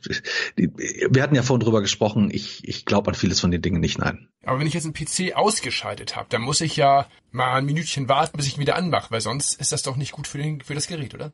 Ja, ähm, ein klassischer Mythos von früher. Ähm, er hat sich ein bisschen gewandelt, denn ähm, habt ihr eine SSD in dem Rechner, könnt ihr im Prinzip nach dem Runterfahren äh, innerhalb von drei, vier Sekunden sofort wieder anmachen.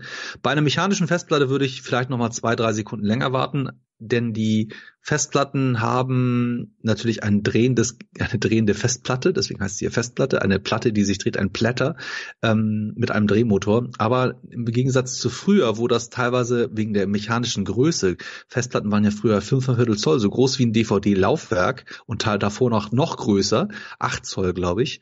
Ähm, die haben natürlich ein bisschen nachgedreht und das ist dann nicht so schön, wenn sie mitten im Betrieb noch im Prinzip runterlaufen und gleich wieder neu starten sollen. Bei mit modernen Festplatten, ähm, gerade die kleinen, die sind ja so schnell runtergefahren, da das sind ja kaum, also die, die, der, der Bremsprozess ist ja innerhalb von ein, zwei Sekunden gemacht. Ja, je mehr ich installiere auf dem PC, desto langsamer wird er. Ja, bisschen zwiespältig, aber das hat natürlich nichts mit dem installierten Programm zu tun.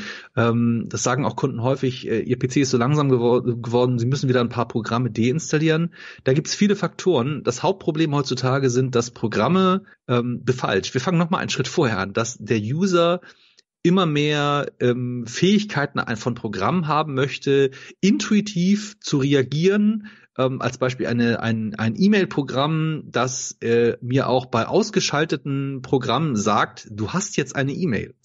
Ähm, das führt wiederum dazu, dass immer ein aktives kleiner, ein kleiner Teil des Programms im Arbeitsspeicher bleibt und der Arbeitsspeicher braucht und Rechenleistung. Und wenn man dann von zehn kleine clevere Programme hat, die alle gleichzeitig immer mal gucken, ist dann mal wieder eine E-Mail da, wie viel Platz hat er auf der Festplatte, äh, ist ein Chatpartner noch da, ähm, oh, hallo, ich bin Skype, ich bin 50 Megabyte groß, ich guck mal hinten drum, ob es mich mal als Update gibt. Das ist das, was den PC langsamer macht. Und gerade Virenscanner. Denn, äh, Patrick, du kannst dich erinnern an die Zeit, als ein Virenscanner noch auf eine Diskette passte, oder? Absolut, McAfee sag ich nur, das waren 1,2 MB Virenscanner. Und heute sind die Dinger ja dreistellige MB-Zahlen groß. Gut, es gibt auch mehr Viren, aber trotzdem sind die Programme auch einfach gewachsen, weil man auch heute nicht mehr darauf achten muss als Programmierer. Und man kann da ein bisschen schlampen mit der Speicherverwaltung und anderen Dingen.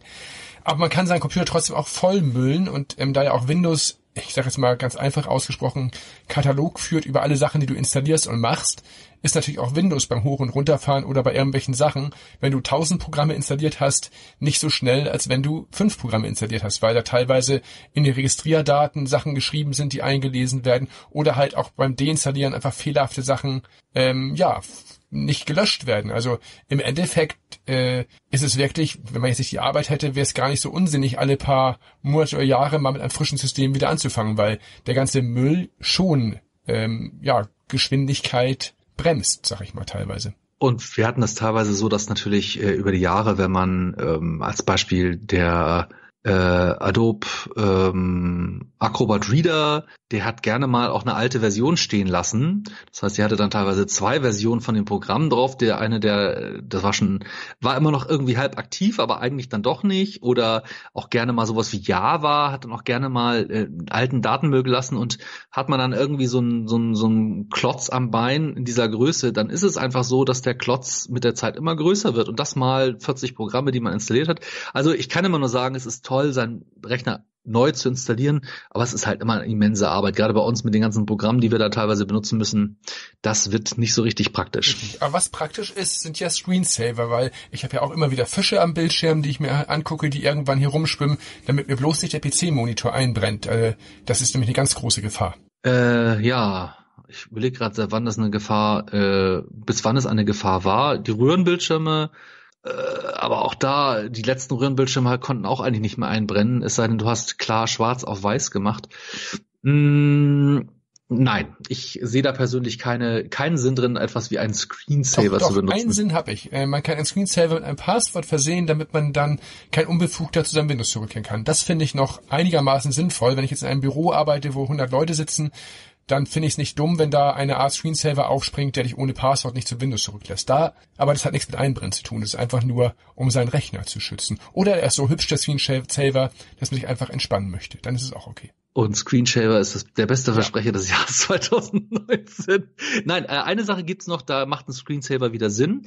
Und das ist bei den ähm, OLED-Bildschirmen, also den äh, organischen LED-Bildschirmen. Da ist es nämlich das Problem, viele Monitore oder Fernseher haben das schon eingebaut, auch die erste Generation, weil bei den organischen LEDs sich das wirklich einbrennt. Die modernen OLED-Fernseher haben aber einen eigenen Screensaver, der dann nach einer bestimmten Zeit anspringt, der das Bild immer variiert und diese Einbrenneffekte wegmacht. Und es kommen ja demnächst auch die ersten OLED-Fernseher für den äh, oder OLED-Monitore für den Computer da ist es dann auch, dass man sagt, äh, ja, äh, wir die versuchen halt die Problematik mit dem Einbrennen, gerade was zum Beispiel ein Hintergrundbild angeht oder ein Desktop-Bild, wo immer oben links der Arbeitsplatz ist, das ist für OLED nicht so was Freundliches. Da springen dann tatsächlich wieder die ähm, Bildschirmschoner, aber halt dann auch die internen an. Dann, die versuchen dann zum Beispiel einfach die ähm, die äh, einzelnen Bildpunkte dann mal so ein bisschen zu verschieben, dass das dann für den für das Auge vom Weiten nicht so zu sehen ist. Aber eigentlich ist es schon zu sehen. Ja, wenn ich jetzt gebrauchte USB-Sticks und SSDs verkaufen will, wegschmeißen will, sonst was, das sollte man nicht tun, denn man kann sie gar nicht löschen. Zumindest nicht so, dass nichts mehr drauf ist oder nichts mehr wiederherstellbar ist. Ein großes Problem, ähm, denn man kann in den meisten Fällen, so wie die Menschen die USB-Sticks löschen, kann man die Daten immer komplett wiederherstellen aber auch nach mehrfachem Überschreiben äh, sind ja noch Reste da. Nur die kann man dann natürlich nicht mehr einfach wiederherstellen. Also sagen wir mal so, wenn man jetzt da äh, auf Deutsch gesagt lebenswichtige Daten drauf hat oder was auch immer, dann ist es vielleicht doch besser mit dem Hammer den Stick zu zerstören. Nein, aber ähm, grundsätzlich, wenn ich jetzt so und so oft etwas überschreibe, kann ein normaler Mensch zumindest ja nicht mehr schnell rankommen. Nee, genau. Es gibt äh, auch zum Beispiel von der Bundeszentrale für digitale Sicherheit, wie heißen die Bundeszentrale für Uh, da gibt's eine, eine, eine, eine glaube ich sogar einen USB-Stick zum Erstellen oder eine bootbare, ein bootbares Medium, dass man nach gewissen Sicherheitskriterien, das sind dann militärische Standards teilweise, so und so häufig wird das überschrieben, mit Nullen überschrieben. Das führt dann dazu, dass ein normaler Mensch mit normaler Technik da nicht rankommt. Aber ich sage jetzt mal so, jemand, der es will, wird, also eine Firma, die es will, wird wahrscheinlich dann die Daten noch irgendwo auslesen können. Genau, und äh, ganz schlimm sind Leute, die halt äh, Speichersticks verkaufen, weil sie denken, ich habe die in der Kamera formatiert. Patrick, ich habe äh, vor kurzem mal das Problem gehabt, dass ich private Fotos, also private Fotos äh, mit der Kamera gemacht, hatte danach einen Pressetermin und ich habe gedacht, oh, jetzt habe ich es gerade formatiert. Äh, du findest Sachen, die sind Jahre alt. Habe ich auch letztens gemacht. Ich habe tausend, ich hatte eine 16 Gigabyte CF-Karte und da waren tausende von Fotos noch drauf aus den letzten Jahren. Und das muss man sich vorstellen, auch Bilder, wo man weiß, dass das vier Jahre her ist, dass ich den Speicherstick gerade frisch hatte, weil man natürlich in Bereiche geht, wo dann, ähm, das ist ja nicht mit hinteren oder vorderen Begleich, äh, Bereiche zu vergleichen, aber die Informationen für diese Bilder, auch die kleine Mini-Ansicht, die, die ist häufig auch bei, bei mehrfachen Löschen noch irgendwo zu sehen. Und das ist echt, das ist gefährlich. Das Einzige, was wirklich ständig kaputt ging, sind die Dateinamen. Die sind wirklich ganz oft weg gewesen schon. Das heißt, diese, diese Zuordnungstabelle, die ist halt durch. Die FAT, die halt genau, der, die, die FAT, die FAT, das File Allocation Table, das, ich versuche das den Leuten immer zu erklären, das ist wie eine Riesenbücherei, in dem es einen Schreibtisch gibt.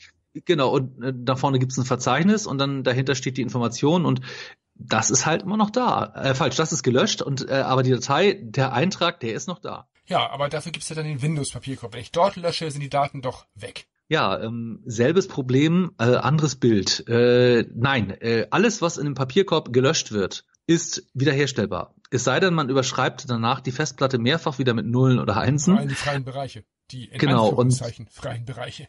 Weil das ist das Problem. Äh, moderne SSDs waren wir ja vorhin mit dem Thema. Die haben dieses, äh, haben zwei Funktionen, äh, die Daten, äh, also die einzelnen Bits nicht mehrfach zu belasten. Was dazu führt, habe ich einen einen Ort, wo Bilddateien sind äh, und ich möchte danach neue. Ich lösche diese Dateien, wird die auch nur in der FAT gelöscht. Das heißt, die die Bildinformationen die dahinter sind, sind so lange immer noch an der Stelle, bis die Festplatte nicht genug Platz hat und die alten verwaisten Datenbereiche wieder zu überschreiben, mit der Konsequenz, dass das eigentlich ziemlich lange da bleibt. Also ähm, da gibt es diverse Möglichkeiten, das wegzubekommen oder besser wegzubekommen. Einige Virenscanner bieten sogenannte Schredder an, dass man dann den Papierkorb mehrfach löscht. Das macht manchmal Sinn, wenn man irgendwie Dateien wirklich weghaben möchte, aber auch diese sind nicht komplett unlöschbar wieder weg. Das ist, ist leider so.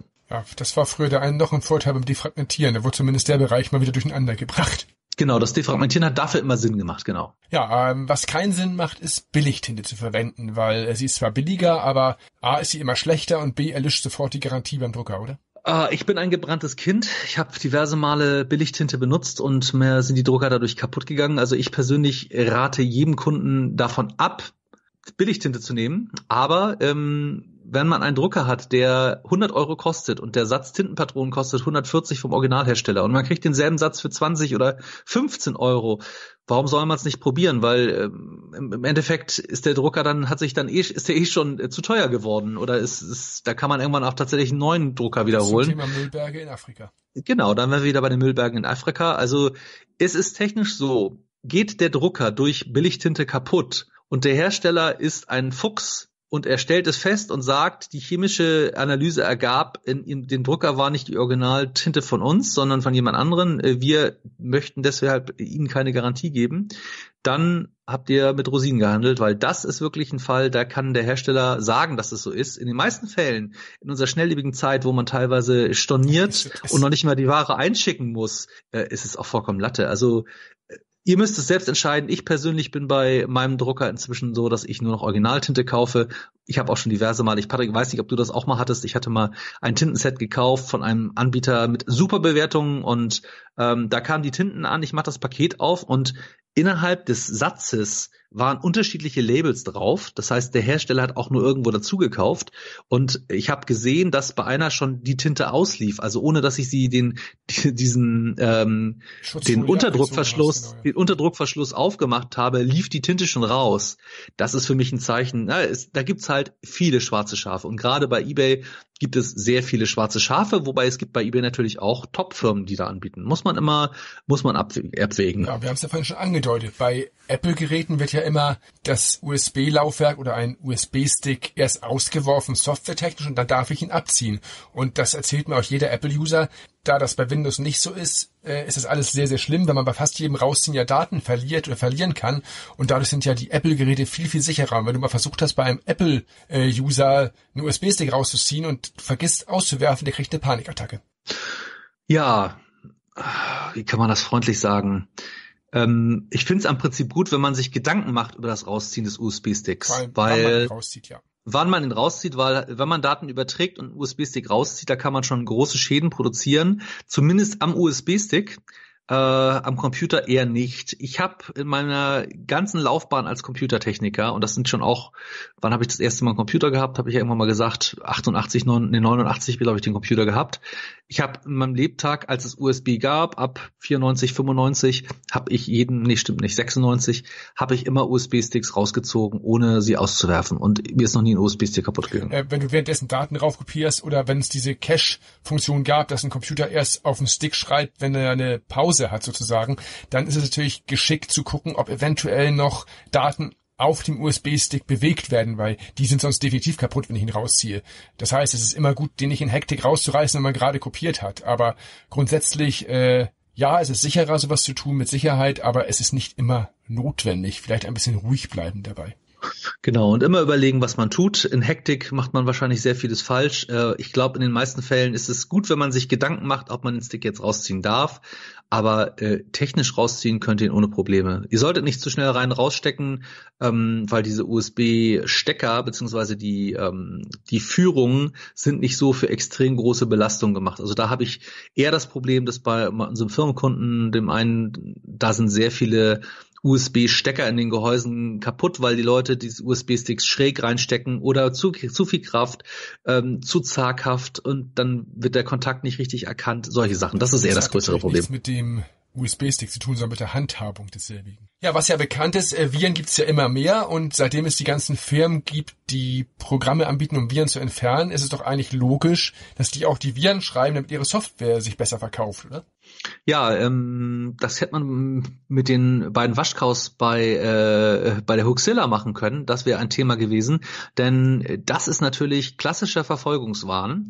Ähm, zu denken, dass dass alle Sicherheitsfirmen Viren schreiben, damit sie ihre Sicherheitslösung verkaufen können. Denn persönliche Meinung, das ist so wie äh, Microsoft spät ihre Mitarbeiter äh, oder ihre, ihre Kunden aus das sind Sachen, die wird man ein Lebtag in einer so vernetz, vernetzten Zeit äh, nie wieder los. Die Problematik ist, hast du einmal einen Ruf weg, dass du ein Virus programmiert hast, den du dann selbst beheben kannst, kannst, wirst du sowohl von der Industrie als auch vom Internet einen Lebtag verhöhnt. Und ich glaube, keine Firma wird sich den Jux machen zu sagen, hoch, hoch, wir schreiben jetzt mal was, was nur wir entfernen können. Ja, erstmal ein paar Tage später wird es auch jeder andere entfernen können, weil äh, genau. da gibt's ja eine Beobachtung logischerweise. Ähm, und was man auch nicht unterschätzen darf, also man, wir reden natürlich jetzt von den seriösen Antivirenherstellern. Natürlich gibt es auch Trojaner und Programme, die dir dann sagen, ihr System ist verseucht, sie müssen jetzt hier klicken, um alles zu retten. Das sind keine Antivirenfirmen, das sind Spammer, das sind Betrüger, das sind Gauner, die was anderes vorhaben. Also man sollte schon auf die ähm, bekannten Firmen setzen oder zumindest auch die, die wirklich Viren entfernen.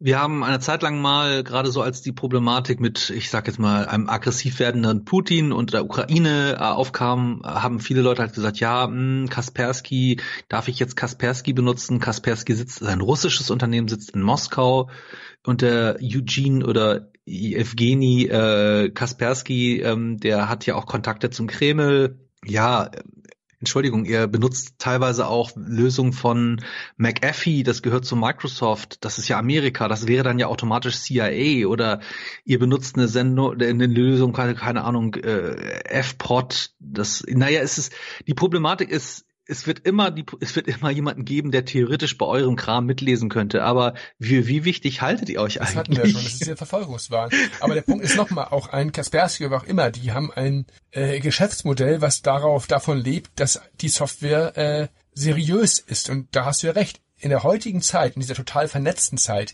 würde irgendein irgendein krummes Ding irgendwann rauskommen und diese Firma kann dann ihre Türen schließen und zwar wirklich für immer, weil im Endeffekt das können die sich nicht erlauben. Und eine Sache darfst du nicht vergessen, diese großen Firmen sind alles, sind alles Aktienunternehmen.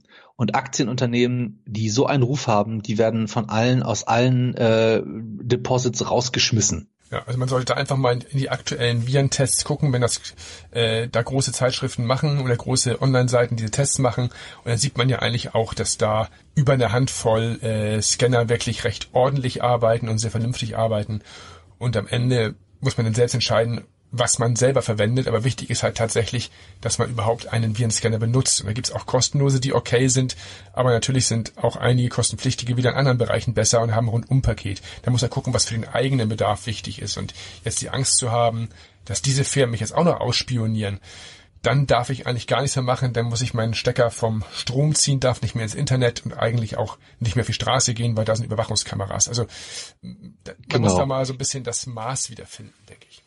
Und bei Virenscannern ist ganz wichtig zu überlegen, wenn man solche Tests hast, du hast vorhin darauf hingewiesen, ich lese diese Tests ja auch immer sehr gerne, ähm, dann verstehe ich immer nicht, in diesen Tests werden dann gewisse Abteilungen gemacht, Benutzerinterface, äh, Benutzbarkeit, und dann kommen die interessanten Bereiche, wie zum Beispiel Virenerkennung und Virenentfernung. Ja, aber wenn das Interface hübsch aussieht und bunt blinkt, nehme ich den Scanner. Ja, und vor allen Dingen die Bewertung ist dann teilweise so, dass äh, meiner Meinung nach müsste 80 Prozent der oder 90 Prozent des äh, der Bewertungen davon abhängen, wie erkennt und wie entfernt ein Virenscanner meine ich Viren. Man, das müsste 100 Prozent sein und dann kann man, kann ja. man negativ sagen, dieses Programm arbeitet zwar perfekt, aber bremst den Rest, bremst den Rechner oder ist hässlich oder ich finde die Funktion nicht so schnell, aber natürlich hast du recht. Die einzige Funktion, die, die wichtig ist bei einem solchen Programm, ist, dass er auch möglichst viele Viren, Trojaner und Adware-Zeug erkennt. Genau, und da, da sehe ich große Probleme. Gerade die Stiftung Warentest äh, macht da manchmal Sachen, wo ich denke, naja, okay.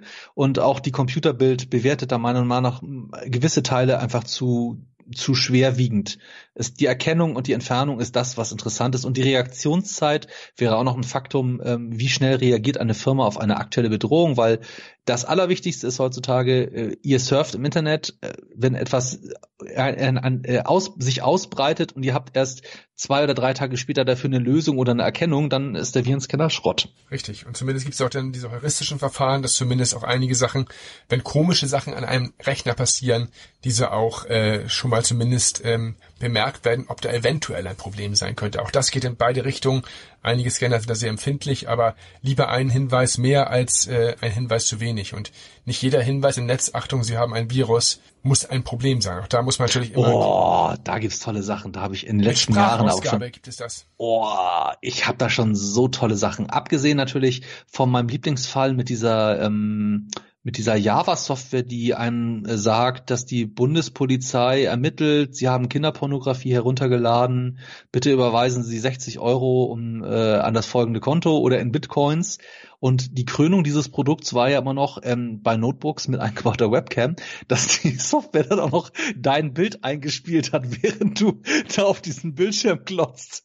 Das habe ich noch nie gesehen, aber. Oh, das habe ich schon mal beim Kunden gesehen. Böse, böse. Oder ich hatte, ich habe es ein paar Mal gehabt, dass ähm, irgendwelche Sprachausgabe kommen, Ihr Rechner ist verseucht, bitte klicken Sie hier und sowas. Das kennt man ja auch. Genau, hier der Registry, Cleaner, Registry, sonst was, beschleunigt Ihr, Ihr Internet, weil Sie haben ja so und so viel viele und installiert nur 20 weitere Trojaner und Viren auf Ihr genau. System. Ja, ja, genau, herrlich. Also auch da können wir jetzt eigentlich wieder ein, ja, ein, ein Bogenspann zum Anfang unserer Mythengeschichte oder zum Abschnitt eins, äh, wo ja Alexander mal gesagt hat, immer schön skeptisch bleiben. Und das passt eigentlich auch bei all diesen Dingen. Einfach nicht immer alles glauben, was man sieht und liest. Vielleicht mal drüber nachdenken, mal das eigene Gehirn anschalten oder mal mit anderen Leuten drüber sprechen und ja, äh, vielleicht nicht auf alles gleich klicken, was man sieht. Und auch nicht alles gleich glauben, was man sieht. Denn wir haben jetzt ganz viele Punkte herausgepickt und viele davon sind einfach Quatsch. Einige stimmten früher, stimmen heute nicht mehr, einige stimmten nie und einige haben zumindest ja eine Teilwahrheit, aber vielleicht gar keine Konsequenz im eigenen Umgang mit Software und Hardware. Denn, wie du schon gesagt hast, das Wichtigste ist immer zu überlegen, ob das logisch ist, was da passiert. Und eine Software, die einem bei einem Computer, der wunderbar funktioniert, plötzlich sagt, Sie haben 5300 Bedrohungen auf Ihrem Rechner, bitte klicken Sie hier, damit er das löscht, äh, ist einfach unrealistisch. Und immer darauf achten, von wo die Informationen kommen, ob die aus irgendeiner Facebook-Gruppe kommen, ob die von irgendeiner Satire-Seite kommen, ob die von einer seriösen Seite kommen oder vielleicht einem seriösen Printmagazin oder was auch immer immer darauf achten, was sind die Quellen von den Dingen, weil viele Sachen werden ja einfach weitergetratscht, weitererzählt, weiterverbreitet im Internet äh, und irgendwann glaubt sie dann auch wirklich gefühlt jeder. Richtig. Das ist eine, äh, eine wunderbare Welt, in der wir leben. Die Vernetzung führt zu bei Leuten, die gleichgläubig sind, glaube ich, zu sehr vielen Problemen. Aber das gab es auch schon vor 200 Jahren. Richtig, da waren es nur andere Medien. Ja, ich denke, wir haben jetzt einen schönen Rundumschlag äh, zum Thema Mythen, Mysterien, Hoaxes, Fake News und alle diese Dinge gemacht. Und Jetzt bleibt es an euch, daraus was ja zu lernen oder mitzunehmen oder eure eigene Erfahrung mit diesen Dingen zu machen. Und ich denke mal, selbst wenn diese ganzen Sachen immer wieder erzählt werden, immer wieder darauf hingewiesen wird, in zwei, drei Jahren oder wann auch immer, äh, gibt es dann wieder dieselben Geschichten als neue Bedrohung, da gibt es den nächsten Kettenbrief oder ich weiß nicht was. Und die Sachen, die schon vor Jahren eigentlich widerlegt worden sind, tauchen richtig schön kontinuierlich immer wieder irgendwo auf, weil irgendwelche Leute sie unkommentiert, äh, also nein, unreflektiert äh, weiterverbreiten. Ja, ich denke, das war ein schöner Rundumschlag und ich gucke mir jetzt mal ein bisschen wieder meinen Bildschirmschoner an. Äh, Robin, Robin, differentiert eine SSD und ähm, ja, was machen wir sonst noch so? Ich kaufe mir eine schöne 52 Megapixel Kamera für 100 Euro bei eBay. Dann sind deine Bilder endlich mal scharf. So soll es doch Endlich sein. scharf, genau. Ja, ich denke, so viel zu unserem Thema Mythen und Mysterien zum Thema Computer.